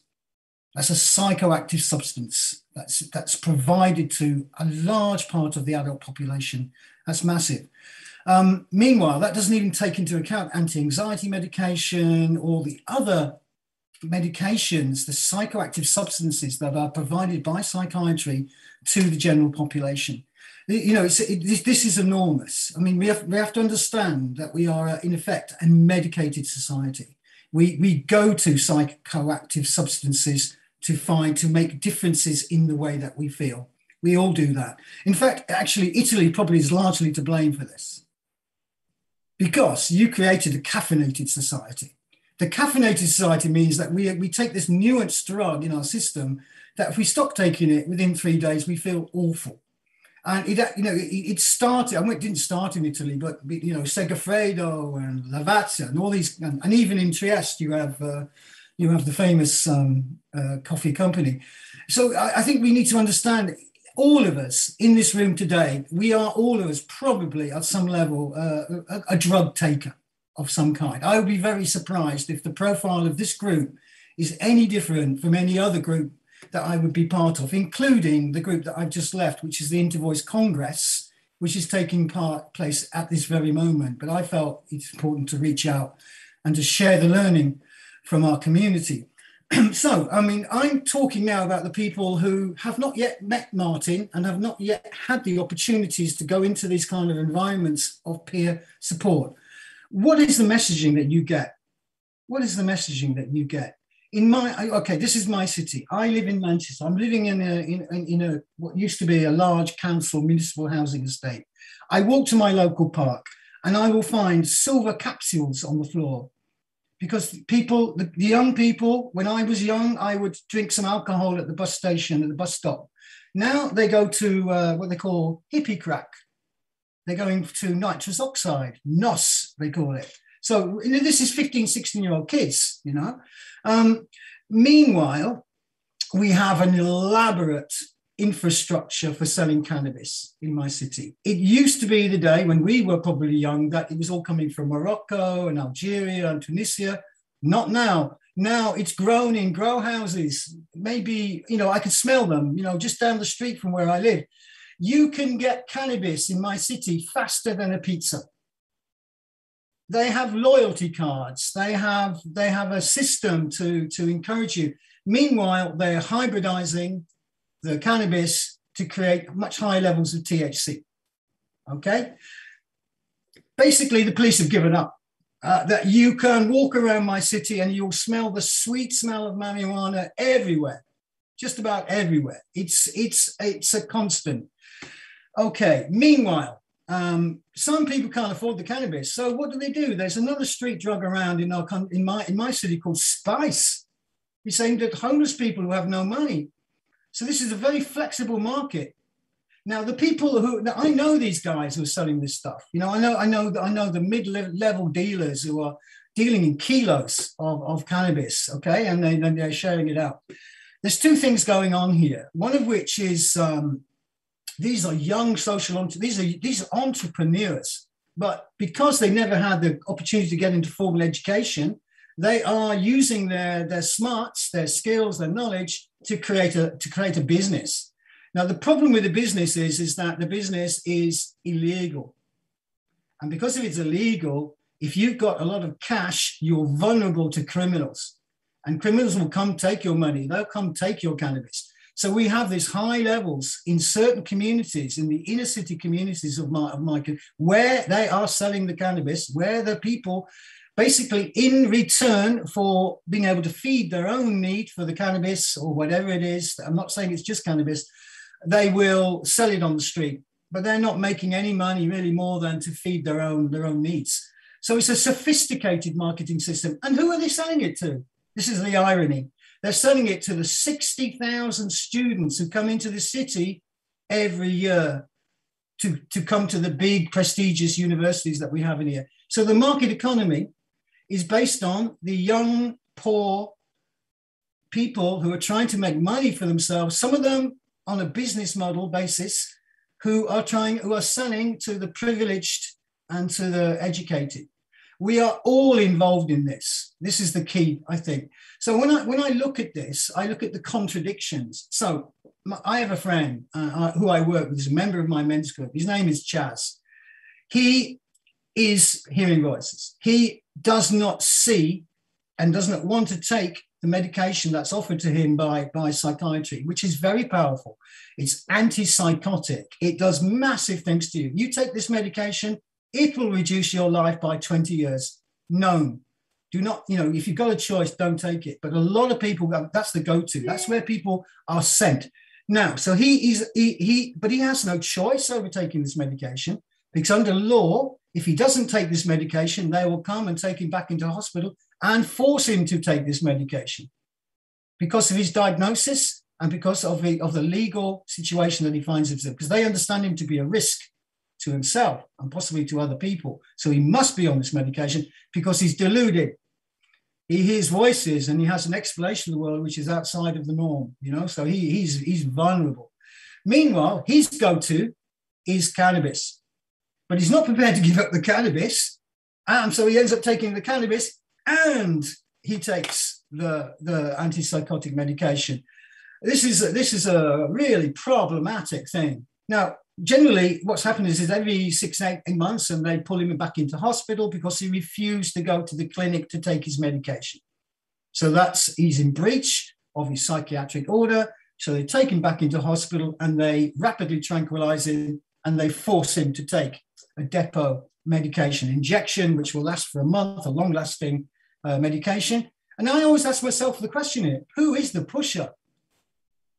Who is the pusher in this circumstance? It's very, maybe very, very, very sort of a strong statement to make, but I actually see, in some respects, the medical system paralleling the street based system, except for one thing they have the law. So they can force you to take the medication. So this, so the question I suppose we start with is, is, is really how, how, you know, I've not even talked about opi- opioids.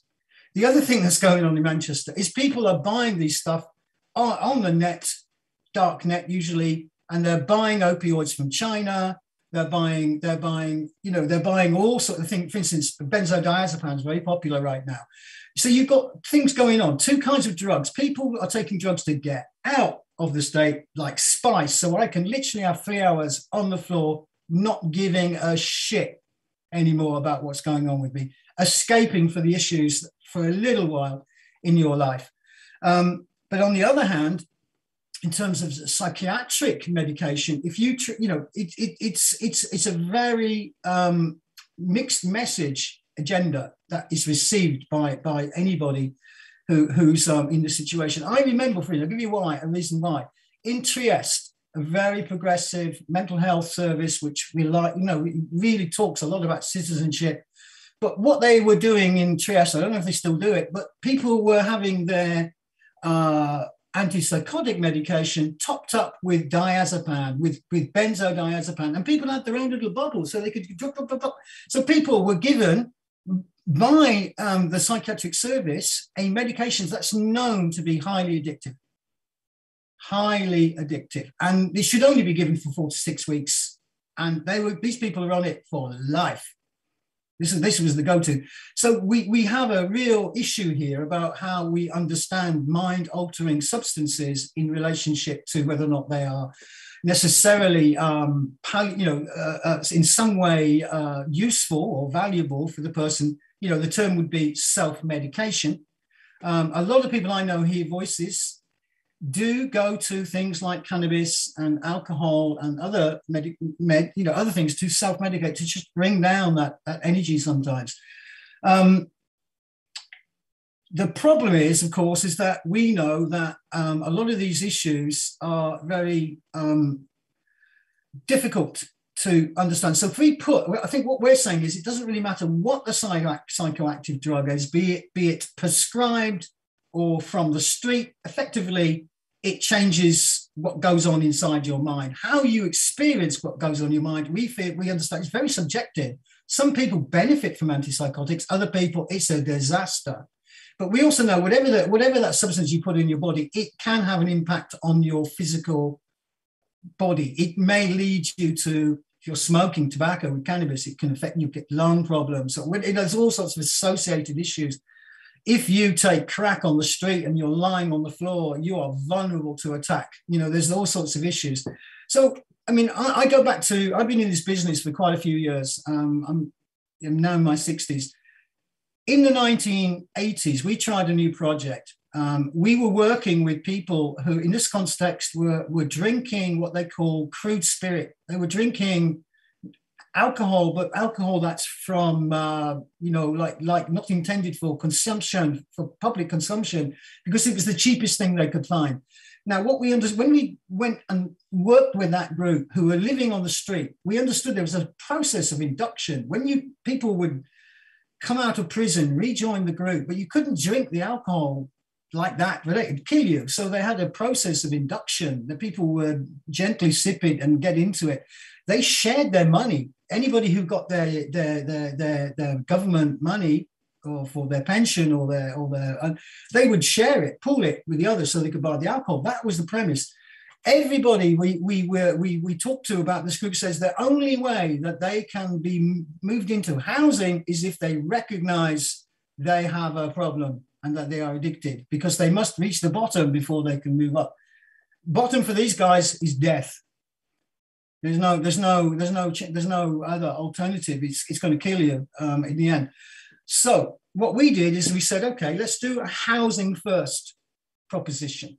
We have no expectations of you changing your behavior. You just will have somewhere very nice to live that's not on the street where you've got your own key to your own door.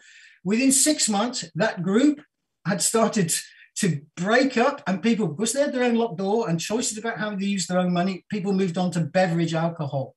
They moved on to cider and on to wine, etc., etc. And we realized that if you fundamentally address the issues which are toxic in people's lives, the people who were on the street were drinking this because it was the only way they could survive on the street. So this takes us to, to the to, to, to the to the social determinant agenda. And this is for me is that this is driven not by personal um, and, and problematic issues to do with our failings as individuals and our addictive, disease prone brains, but more it's to do with the way that our economy and our society is set up. It's no surprise that it's the poor people of Manchester who are selling this stuff. And it's no surprise that the people who are profiting from this stuff are the rich. You know, it's a, it's, it's, it, it, it plays entirely into that kind of big socioeconomic And that's why we need to move towards an understanding that if people are going to be supported to to as we say to to be part of a an understanding that whatever we are putting in our bodies it's has to be normalized but we also have to pay attention to the public health agenda which i think everybody is, is understanding. Um, so you know it's it's there's so many contradictions uh, and I keep, and I'm pointing those out today. You know, for instance, the psychiatric hospital in my in my city, they now pat you down when you come in. They sort of do a search on you, like going into prison, because they're so scared about the amount of cannabis and other drugs that are being brought into the psychiatric hospital because people are using their phones to get their people to either throw it over the fence or you know so they, they you know this we have to i think sort of step back from this and say whoa you know, whatever's going on here, we need a root and branch kind of review of understanding this and, and having a recognition that what is happening on the streets is in no way being acknowledged or recognized by the services. And we need really to, to understand are we part of the problem or are we part of the solution? Uh, I have no idea, Alice, if I've gone on for 20 minutes or not, or how long I've got left. So, how long have I got? Actually, No, mancano altri 5 minuti. Se vuoi intanto viaggio. You have five minutes more. Five, five minutes more, minutes. yeah. Okay, so um, I want to now reflect on, you know, a little bit more about the Hearing Voices movement and and and Intervoice uh, and the way that we understand. And I think this is critical to this kind of forum that we have here.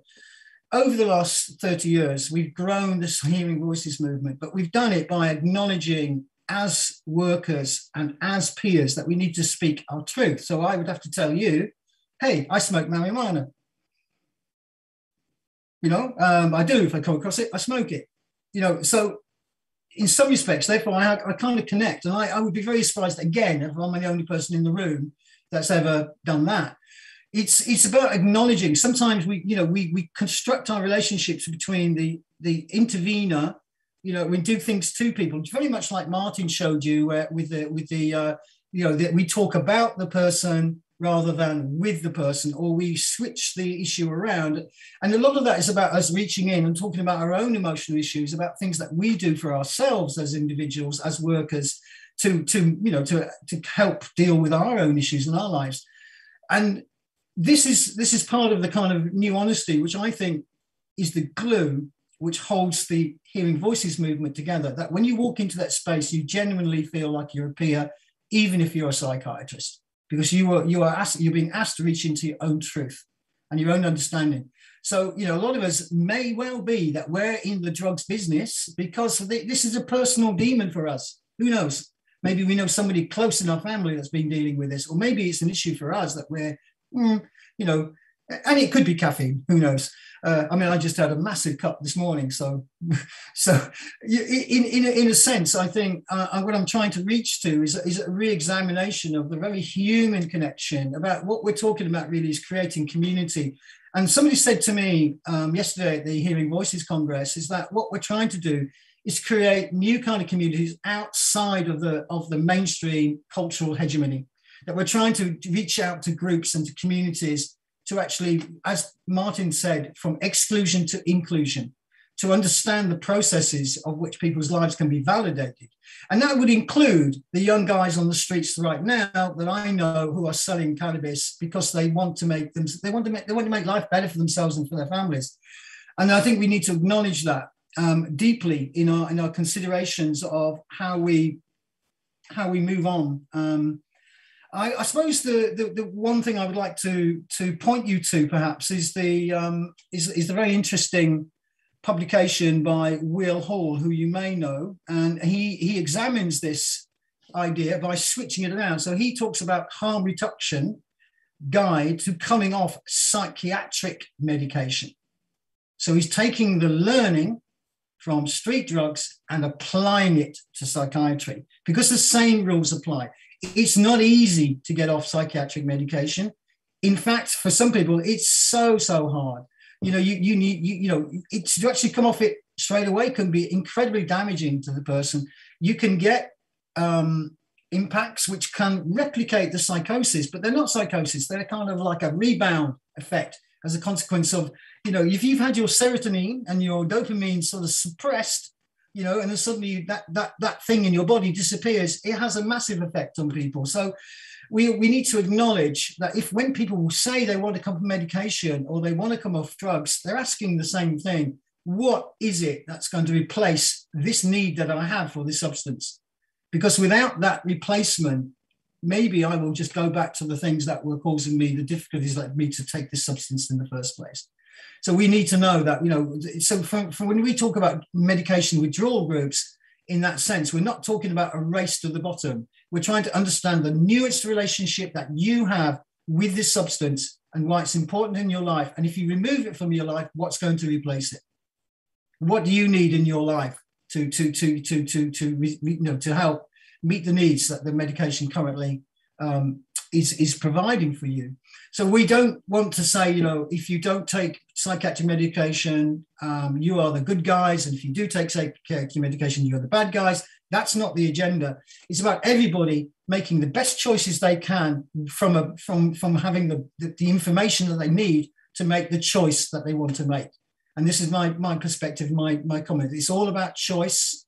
It's about being able to have a real choice because you have the real information. I do not want to take antipsychotic medication, Mr. Psychiatrist, because I understand it will kill me in 20 years. Explain that to me. You know, so we we we, we, so and it might be that I'll say, yeah, okay, well, that's a bit like cancer medication and it also has negative effects. But I think for this purpose, I will take a you know low dose, short term. The other thing I think for psychiatry and for other pushers, if that's what they are in quotation marks, when if you're putting something somebody on something, you also need to be planning to get them off it. And this is what psychiatry generally does not do. It's very good at getting you on it and upping it and changing it and changing it and upping it and changing it and upping it. But very rarely have they been part of the journey to bring down to end it. So this is a key thing I think that we need to do is work with our clinical colleagues to get this agenda into their heads and, and trying to sort of see how that might change things uh, in the way that we provide and support people in the future. So thank you very much. Grazie mille a te di questo bellissimo intervento, anche, anche questo molto Thank you so much for this Thank you very much speech. for this intervention, which we was ended really... this first session where the clear point was the respect given to people so to give uh, dignity back to people because each person has knowledge, they have uh, the possibility to choose. So that's very much important. Uh, if we look at people in that way, maybe a lot of intervention could uh, have success and could support people in a different way. Uh, if they are decided with a person who want to decide what to do with his or her life. Another aspect is the importance of the community to insert people in the community and how this context should be modified so to act in a different way. Now we will start the debate. I saw after Susanna Ronconi, Grazia Zuffa would like to talk. And then Stefano Vecchio. So Grazia Zuffa first. Um, mi sentite? Allora, um, ci sono moltissimi stimoli, mi piacerebbe molto. Okay, there are a lot of suggestions. I would like to say something on the last um, speeches, but unfortunately I have to make a choice. So I'm choosing to say something on the um, speech by Susanna Ronconi uh, in terms of the potentials of the uh, harm reduction policies. I totally agree with the approach she had and all the potentials of the harm reduction uh, that it's not just uh, a range of interventions of public health care, but is it is also a new way of uh, looking at consumption, drugs consumption. Having said that, I think that the last slide that Susanna was showing how to go beyond the harm reduction uh, must be taken very seriously for many reasons. First of all, in Italy, I was thinking of the International Conference of Harm Reduction, which took place in Florence 1995, um, long time ago. But it was, you know, the, the launching of the um, harm reduction in, in Italy. So if it is true um, what Susanna states in her slides, that the harm reduction has an inherent criticism to the policies that are expressing um, dominating values um, which don't have healthcare at its center. It is also true that in the International Conference of 1995, harm reduction was presented as a strategy which was not in contrast with the dominating values as an almost an auxiliary strategy uh, to the dominating values. And I mean by that as a policy that didn't want to get into the criminal side of it, but also in terms of what was the approach of the services, the exclusivity of the objective of abstinence and the priority of abstinence. Yesterday, I referred to the connections existing between the healthcare uh, service uh, system and the criminal system. Uh, of course, that's very pressing because there are also the alternatives to detention uh, and all the uh, discourse on the new what is called community justice system, the um, uh, people on parole, alternative measures to detention and so on, which are the actual control of the services, of the public service, a connection that I must frankly say it a connection that does not worry the healthcare professionals uh, who uh, actually apply. The fact that the magistrate has decided doesn't mean that uh, healthcare professionals don't have to question it. And I don't think they do. I don't think they, the healthcare professionals question this. There is this political inheritance that has a certain weight, not only in Italy, now, secondly,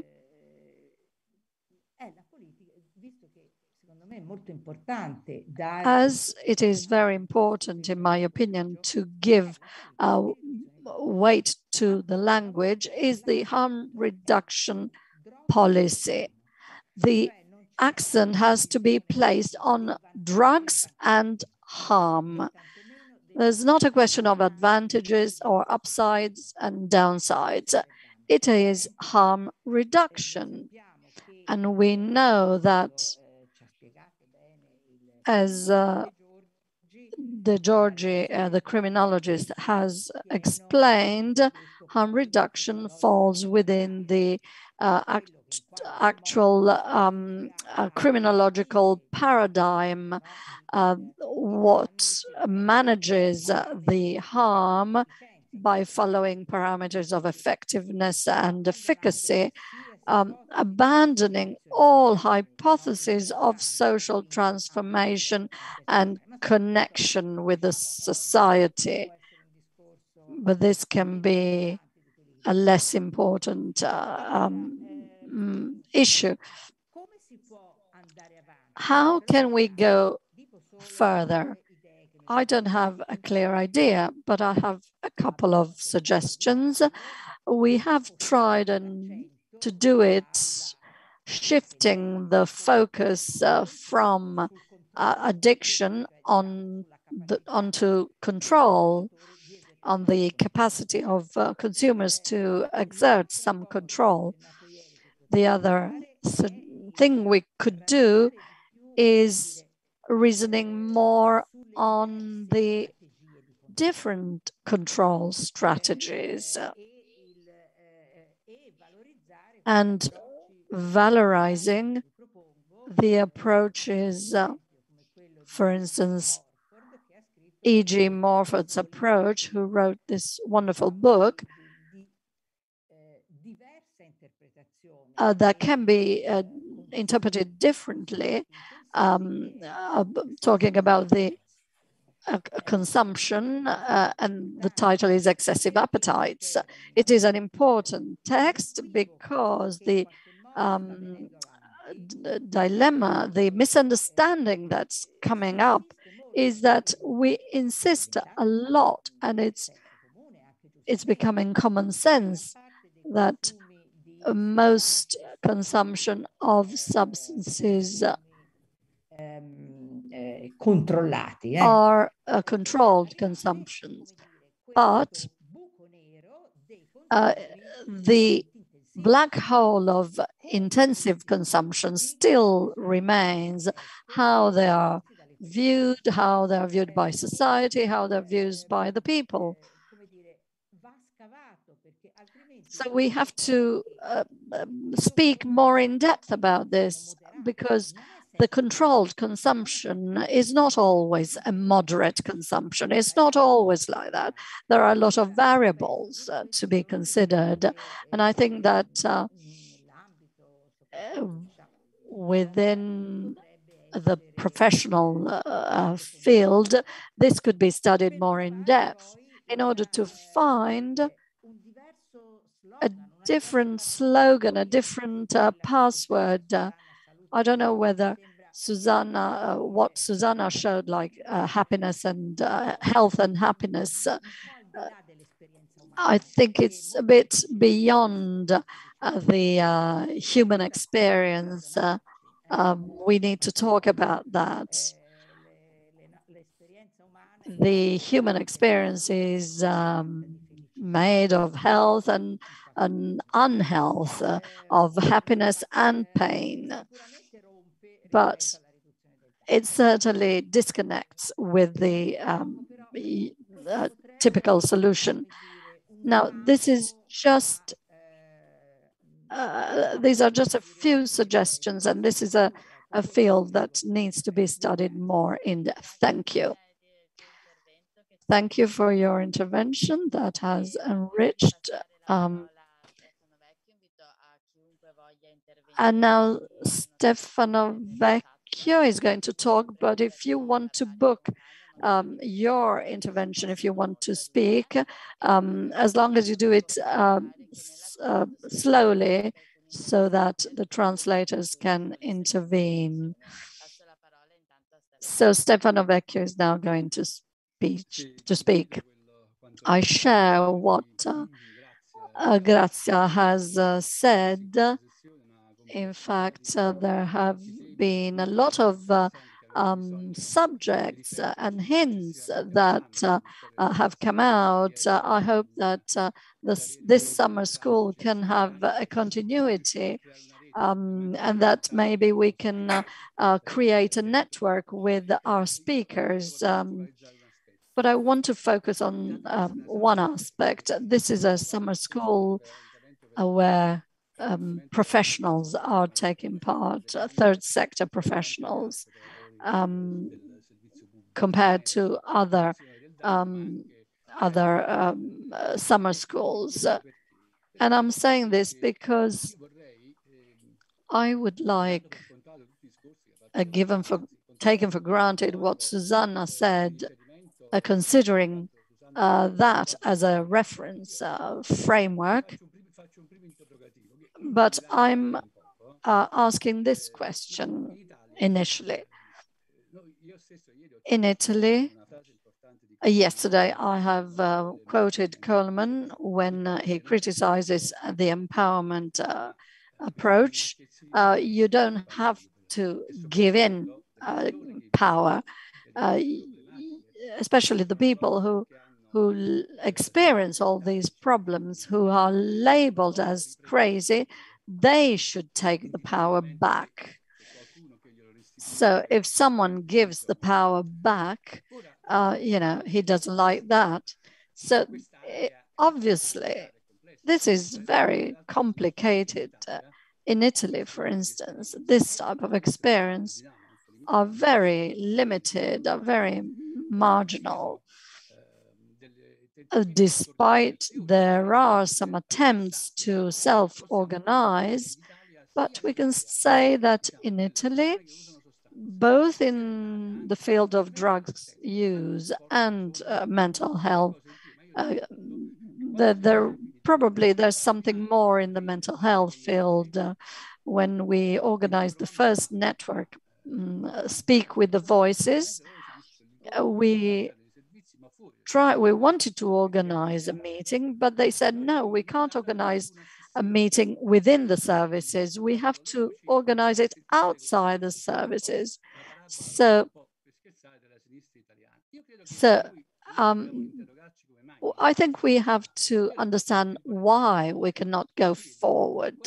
And I wonder, what is the contribution that professionals can give?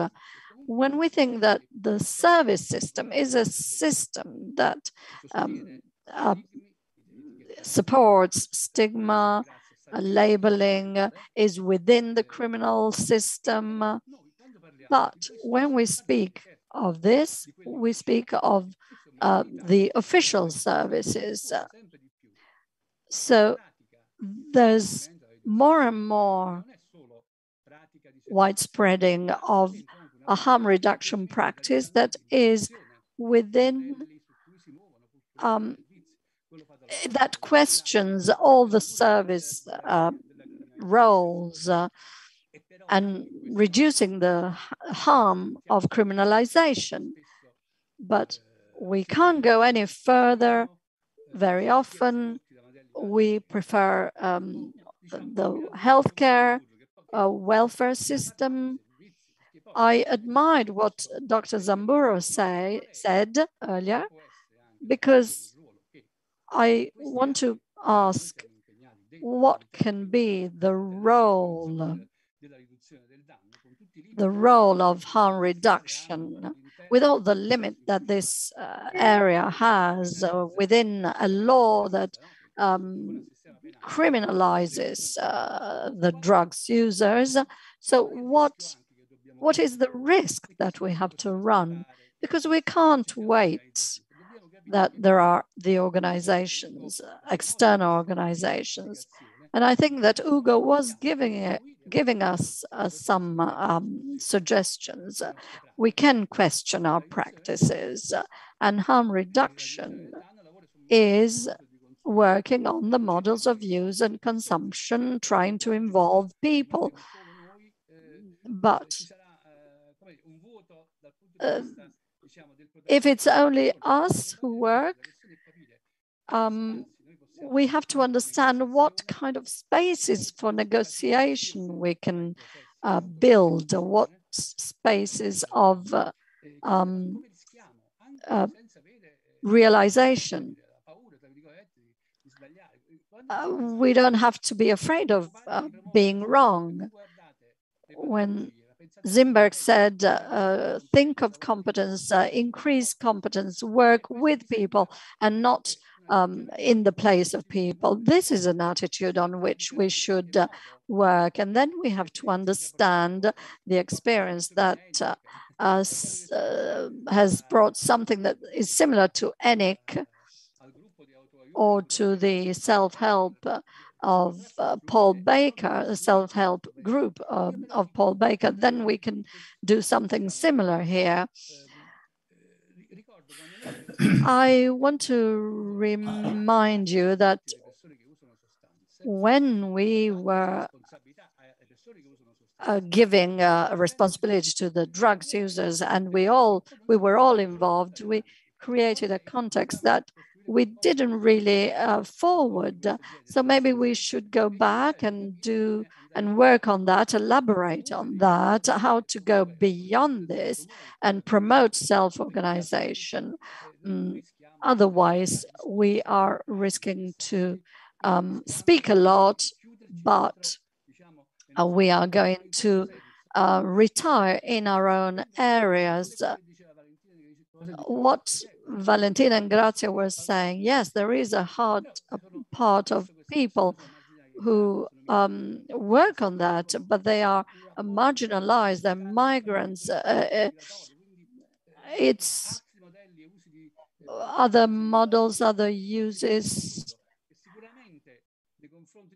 Uh, so I think that the models of harm reduction going through the strategies of healthcare and even changing them, they can uh, open up new uh, scenarios. Thank you. Um, per rispondere a Ugo Zamburru e subito dopo saranno prenotati invece per parlare Andrea Dainese e Alessio Guidotti. Quindi intanto la parola al dottor Ugo Zamburru, grazie. Allora, uh, Stefano Vecchio. Stefano sì. Vecchio. Yes, I totally agree with what you said. We have to avoid the mistake to keep the service out and we need to negotiate. I can talk just about my little experience I had with some friends and some colleagues. And I do refer to Oscar Olivera, who was the Bolivian leader of the water war in Cochabamba. He always said we need to find spaces to meet. And from that, we can start something. As Martin said, the, pro, the, the point is we can just stay among us and we all agree about any issue, but it's not useful to talk among us. So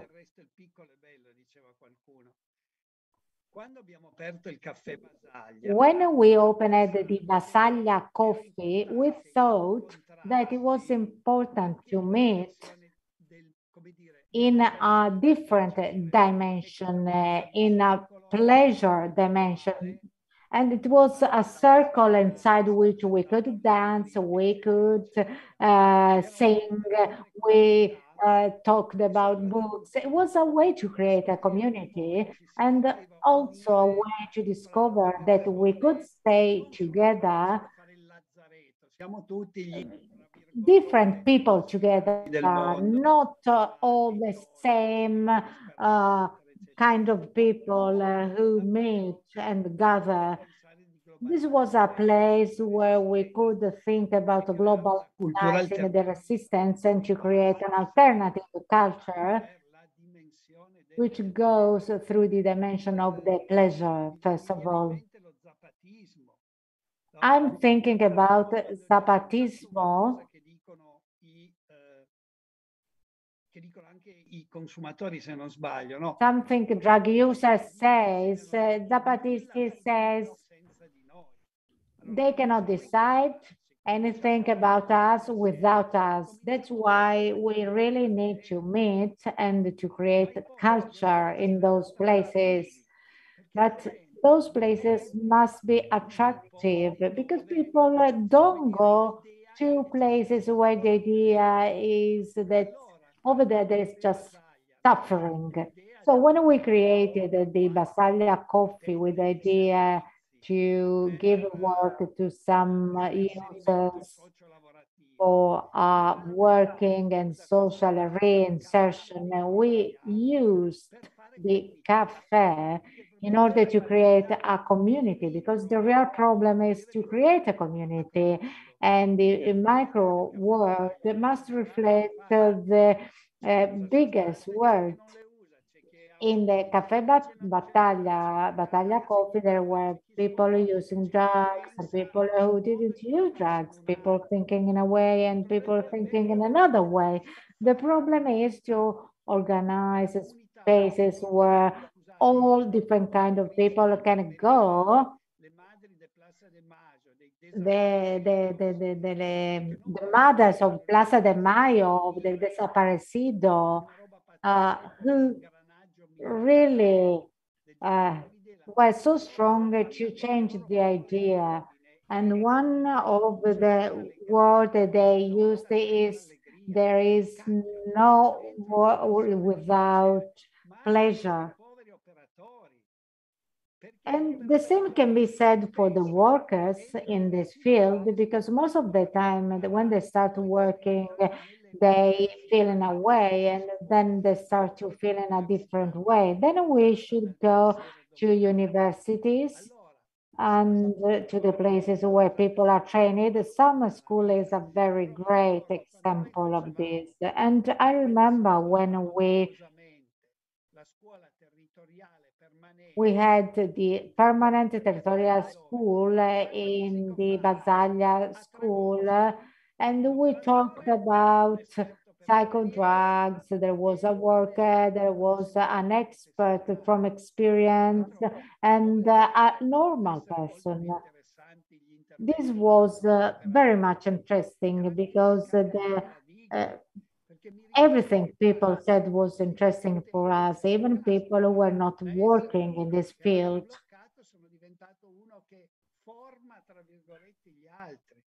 So this was a, a real good experience, the experience of the Basaglia Coffee, the possibility to share ideas and knowledge. And that's it.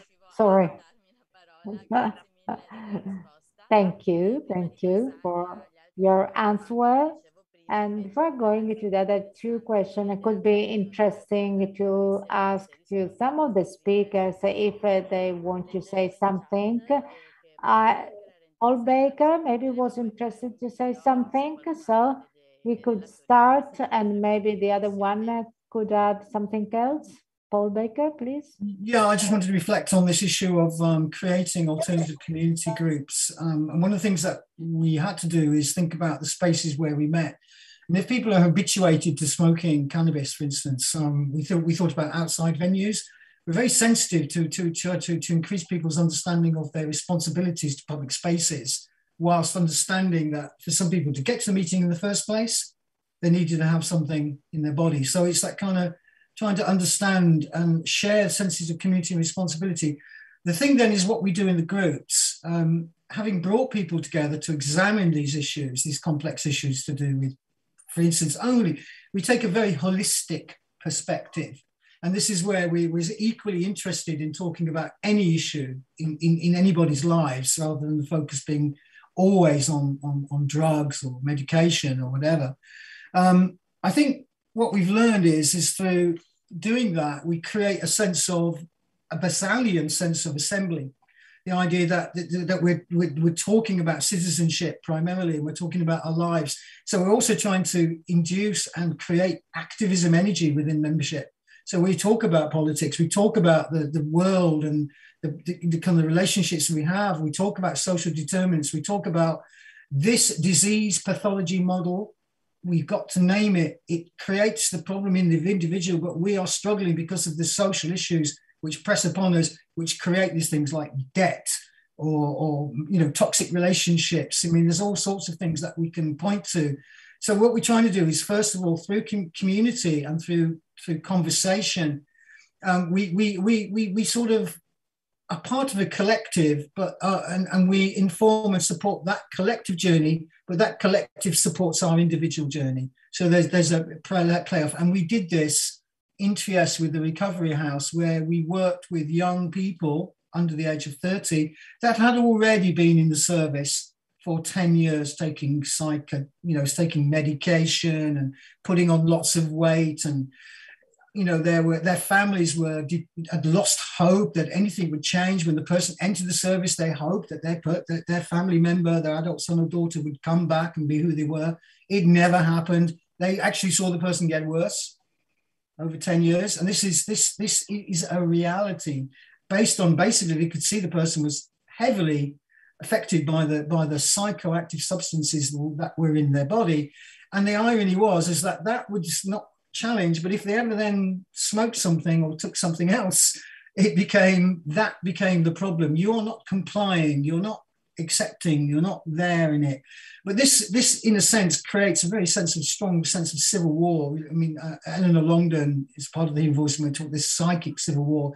You're invited to actually attack your own sense of reality because this hegemonic idea that you are diseased and these are delusions and these are hallucinations and these are symptoms and you are ill kind of like eats away at your self-esteem and self-confidence um, I think the only other thing I would say is that we thought that's about trying to rebuild that and actually build your own sense of what's going on for you. For the so the agenda when we created the recovery community in Trieste was around not pathological issues, but it was around meaning, identity, connection, purpose. Those are the kind of things that we, we, we talked about. They were the things that reconnected people to society and actually then made gave them the space to re-examine their own relationships with whatever that was going on for them. It's it's you know, and, and somebody pointed out the thing about housing first. If you're not removing people from the toxic situation that they find themselves in, I don't know how you're going to move forward with relationship to their need to actually take medication to cope with that toxic situation. So, in a sense, we have to deal with those toxic relationships, and maybe the, the housing situations, what's going on in terms of people's peer groups. Uh, and I think that's the other thing about what we're talking about here. These peer spaces that we're talking about include workers who drop their power to be a peer. And anybody can be a peer. It's about your relationship to that group and how you understand. You are a participant, not the facilitator. Or even if you are a facilitator, you're a co facilitator. It's always addressing the issues of democracy and deep democracy. Nothing about us without us. That means no staff meetings. That means to have community meetings instead. That's about not talking about the person, but talking with the person. You know, all those things come into play, and it has deep consequences for the way that we work as professionals and about how we reorientate the way that we are from being interventionist to working alongside or even being led by that person and following. So it's about reconnecting, it's about addressing the power asymmetry and flattening it and even making it like that. So for me, it's a really big issue about the way we, we, we think, the way, the way, the, even the culture of our services, and that will feed then into the practice.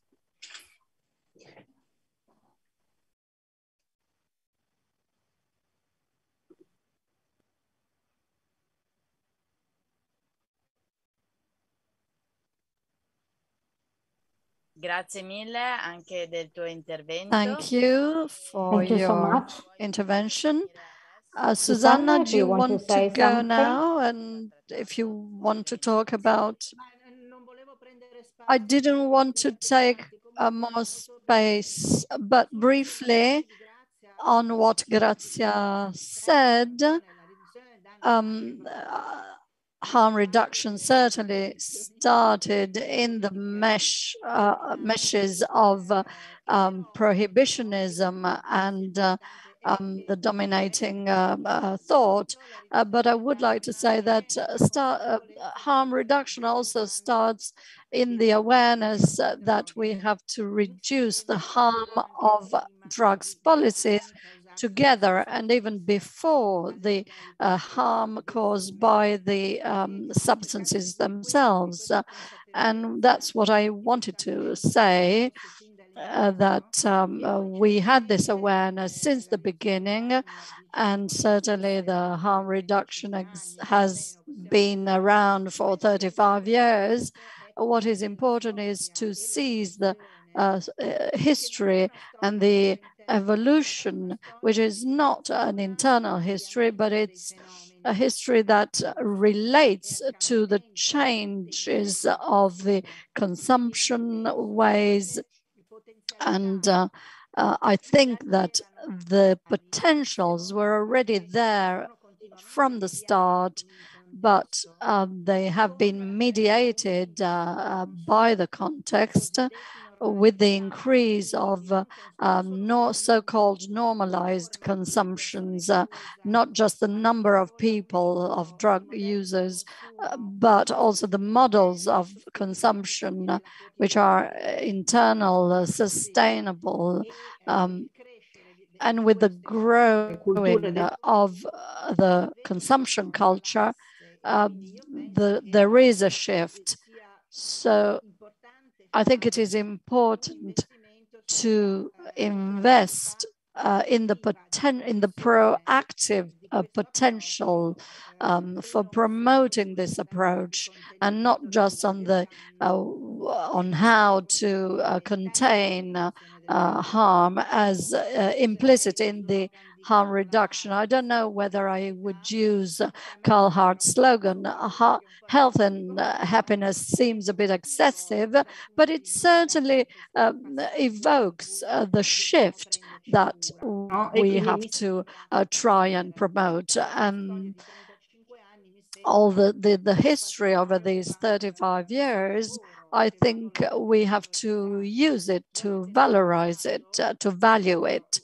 And it's not by chance, I'm referring to uh, our Italian context uh, to explain to our foreign guests, um, after so many years, we will have a national conference on drugs. We're going to um, have it. Um, despite our pressures, uh, harm reduction is not uh, an important uh, subject, but it's only um, within the prevention wider uh, scope. Um, and this is because the fact of medicalizing harm reduction, reducing it to two or three uh, interventions, which may be important, but uh, to uh, remove all the potentials uh, within the wider scope. because this conference uh, is not one where we can really talk about policy, policies. This is just to, uh, a detail I wanted to point out. Thank you, Susanna. Now let's go on to the questions. So Alessio Guidotti will take the floor and then Daniele so that uh, speakers can then reply. Alessio, can you please um, start your video? Ok, penso di, di esserci. Sì, le mie okay, I think I'm there. Possono anche essere viste come domande, cioè come invito. Um, my comments um, may be also some questions or some suggestions to think um, about what has been said so far. In particular, what Stefano was saying on the uh, power and uh, surrender of power, um, the fact that that power is made uh, in the discourse between services and uh, users of the services uh, is made of languages and spaces, which is very difficult um, to have um, where uh, we have to surrender the power.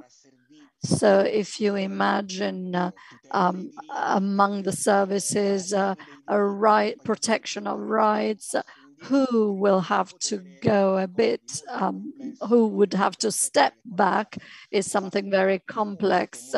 Um, but this is really based on languages and spaces because you, you can't imagine um, the discourse of, on power. Uh, power must not be surrendered, but must be taken. Um, but if you want to be real, realistic, if you see all the service policies, imagining that consumers will uh, conquer the power, you know, you have to be uh, realistic. Uh,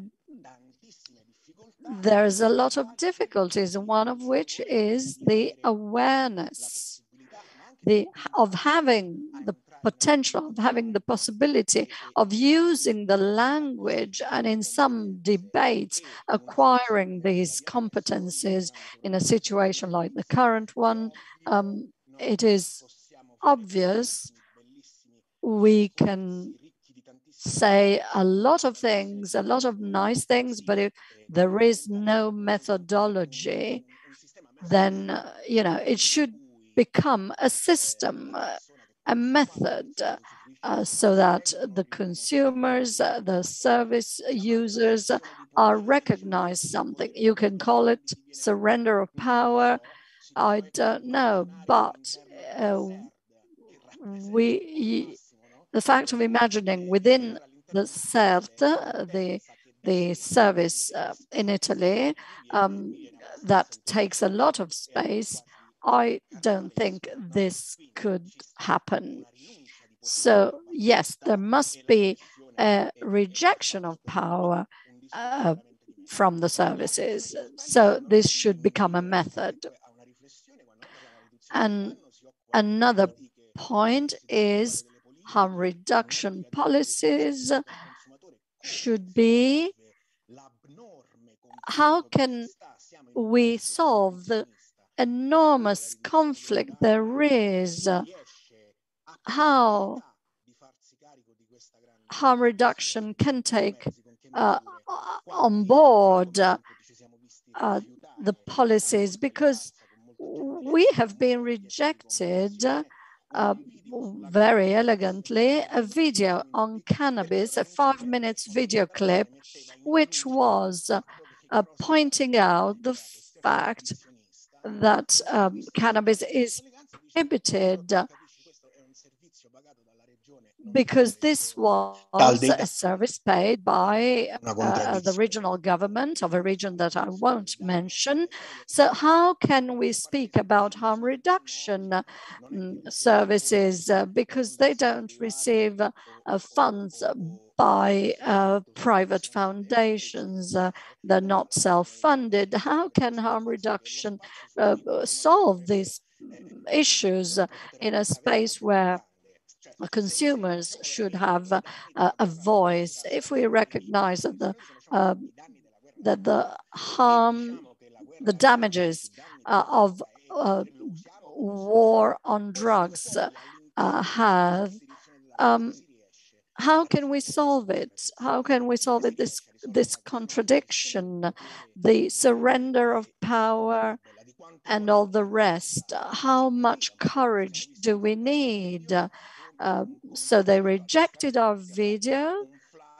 Uh, we managed to um, produce a flyer uh, saying uh, what um, sense does it make to um, punish uh, drugs users. And that's all we did. One last point.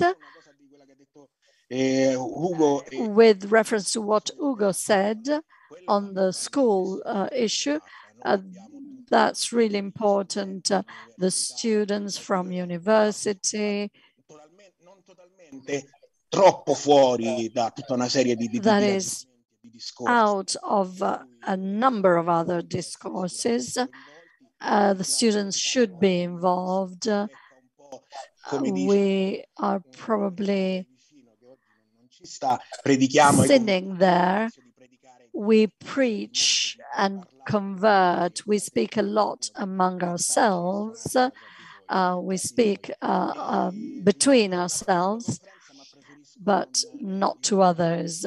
One more word on the conference, but I will give up um, my um, comment uh, uh because I don't want to be politically incorrect. So I want a comment on the conference. Thank you. Thank you, Alessio, for all these ref important reflections.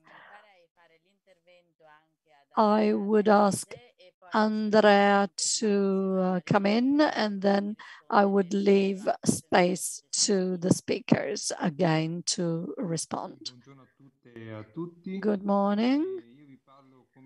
I'm speaking here as, uh, as ex uh, cannabis consumer light uh, drugs consumer.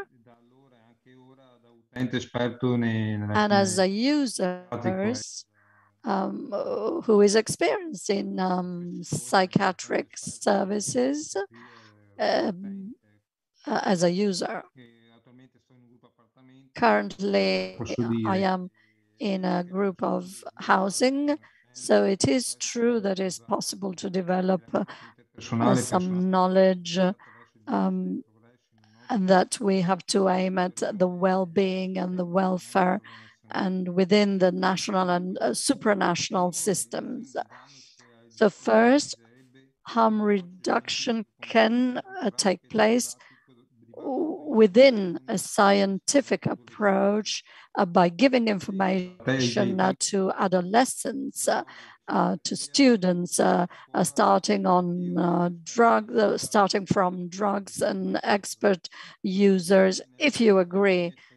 secondly, um, as far as my experience goes, first in the family and then in, in the community, when I was still in the family, I was volunteering in a process of uh, um, experienced life uh, where there was an exchange between myself and migrants. I, I started to learn how to communicate with different languages, with uh, people um, from a different cultural background, with a quite difficult approach, um, especially in the need of uh, soft drugs.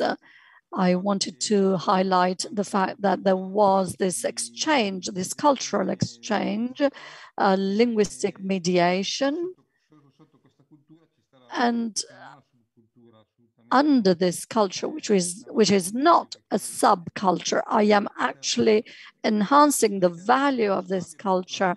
Uh, there was an exchange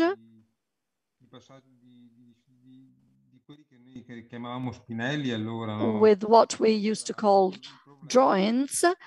Um, there was the problem that um, compared with the um, criminal approach of uh, uh, law enforcement um, uh, institutions, um, you know, the, you should consider being available to um, uh, people who are in need uh, of um, a different types, uh, type of approach.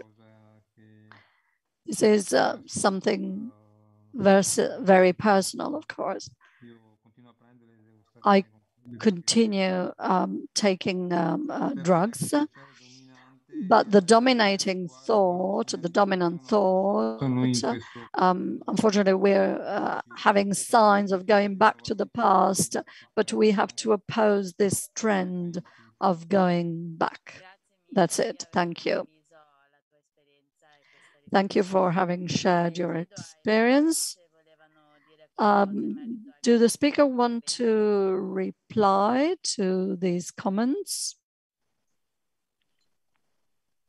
Well, uh, maybe I can uh, start now um, and have some some comments uh, on on the idea of the, that it's easy to take power.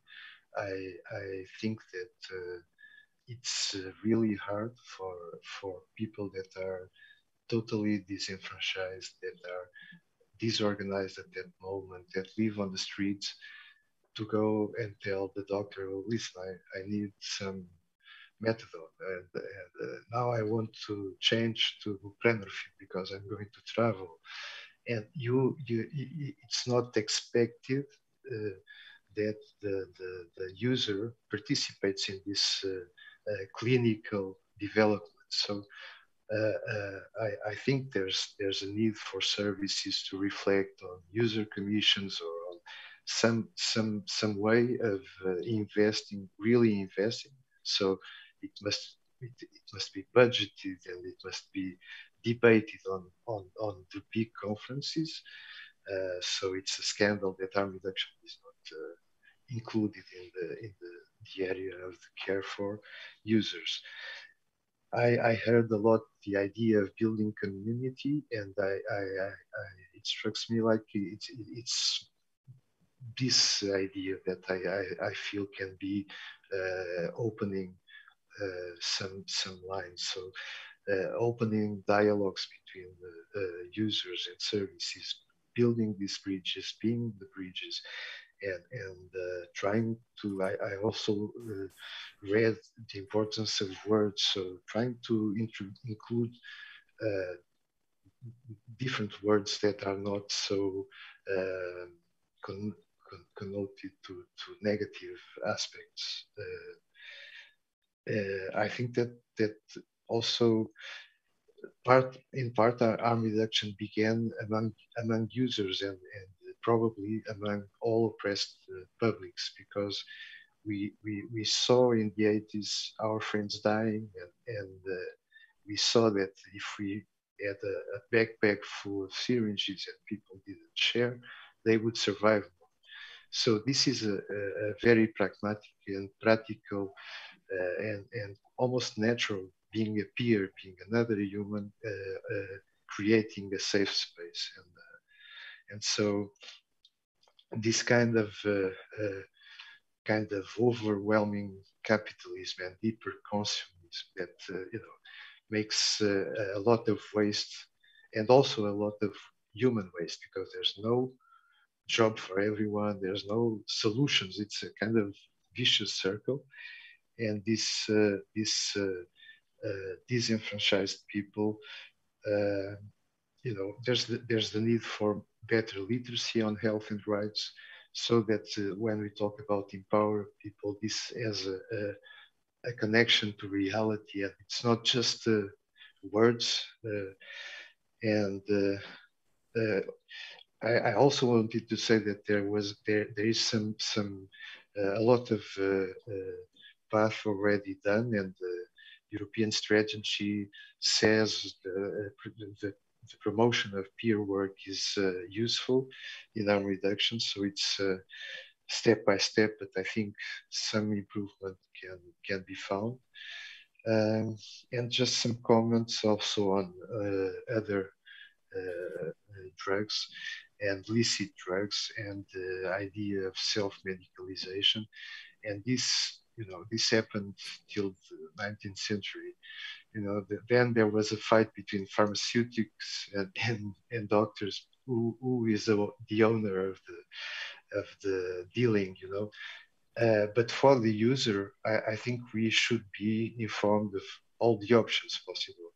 And if I need methadone, and on top of that, I need some benzo, bromazepam, lorazepam, whatever, I, I, I should be given that. I need I need to be informed about myself, my body. How can how, how do I react to these different substances? And in, it's a unique alchemy that you have to find for each person on on, on each moment. So. Um, yeah, also some kind of activism. I, I think it became chronic.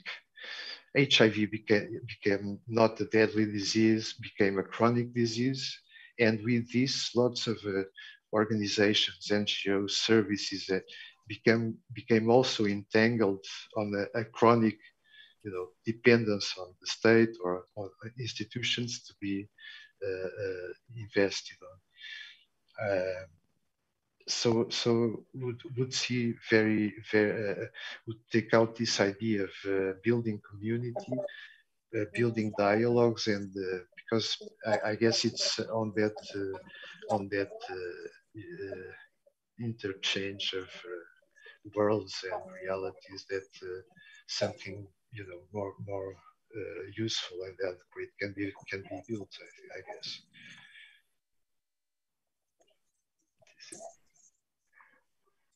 Grazie mille dell'intervento. Vedo anche sulla chat in linea. Thank you so much. I see in the chat most people are saying it's very much needed that you create uh, meeting spaces. We are reaching the end. I don't know if someone else wants to say something or maybe there is time for one last question. maybe. Altrimenti, eh, ecco qua, Valentina Mancuso, prego. Valentina Mancuso wants to talk.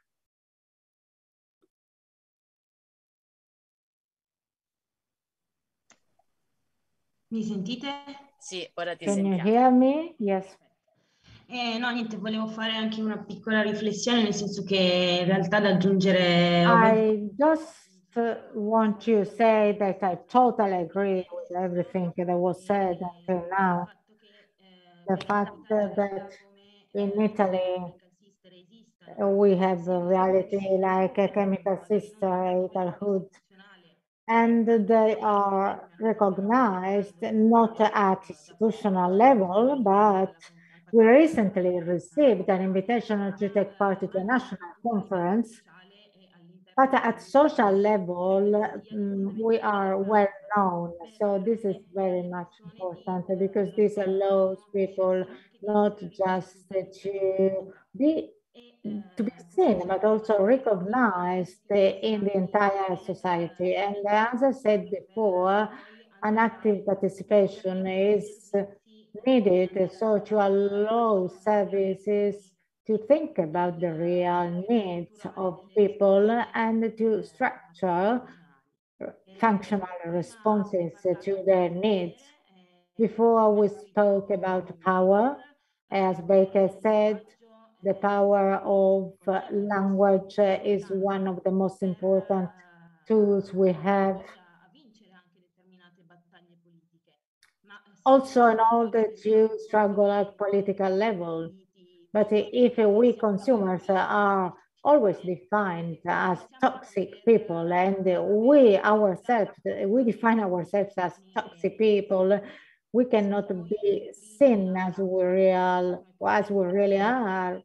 Uh, if there is a stigma and we we ourselves see ourselves as uh, people who can accept uh, this stigma, we are not going to change the situation. So peer help is very much needed, as I said before during my speech. And also, I totally agree about the power of language. And also, when we talked about power, I was also thinking about the issue of pleasure we talked about before with chemical sisters, the power to reivindicate the possibility to get pleasure, to have pleasure. This is a right that was always hidden by society, especially for women, as we know. And that's all. Thank you so much.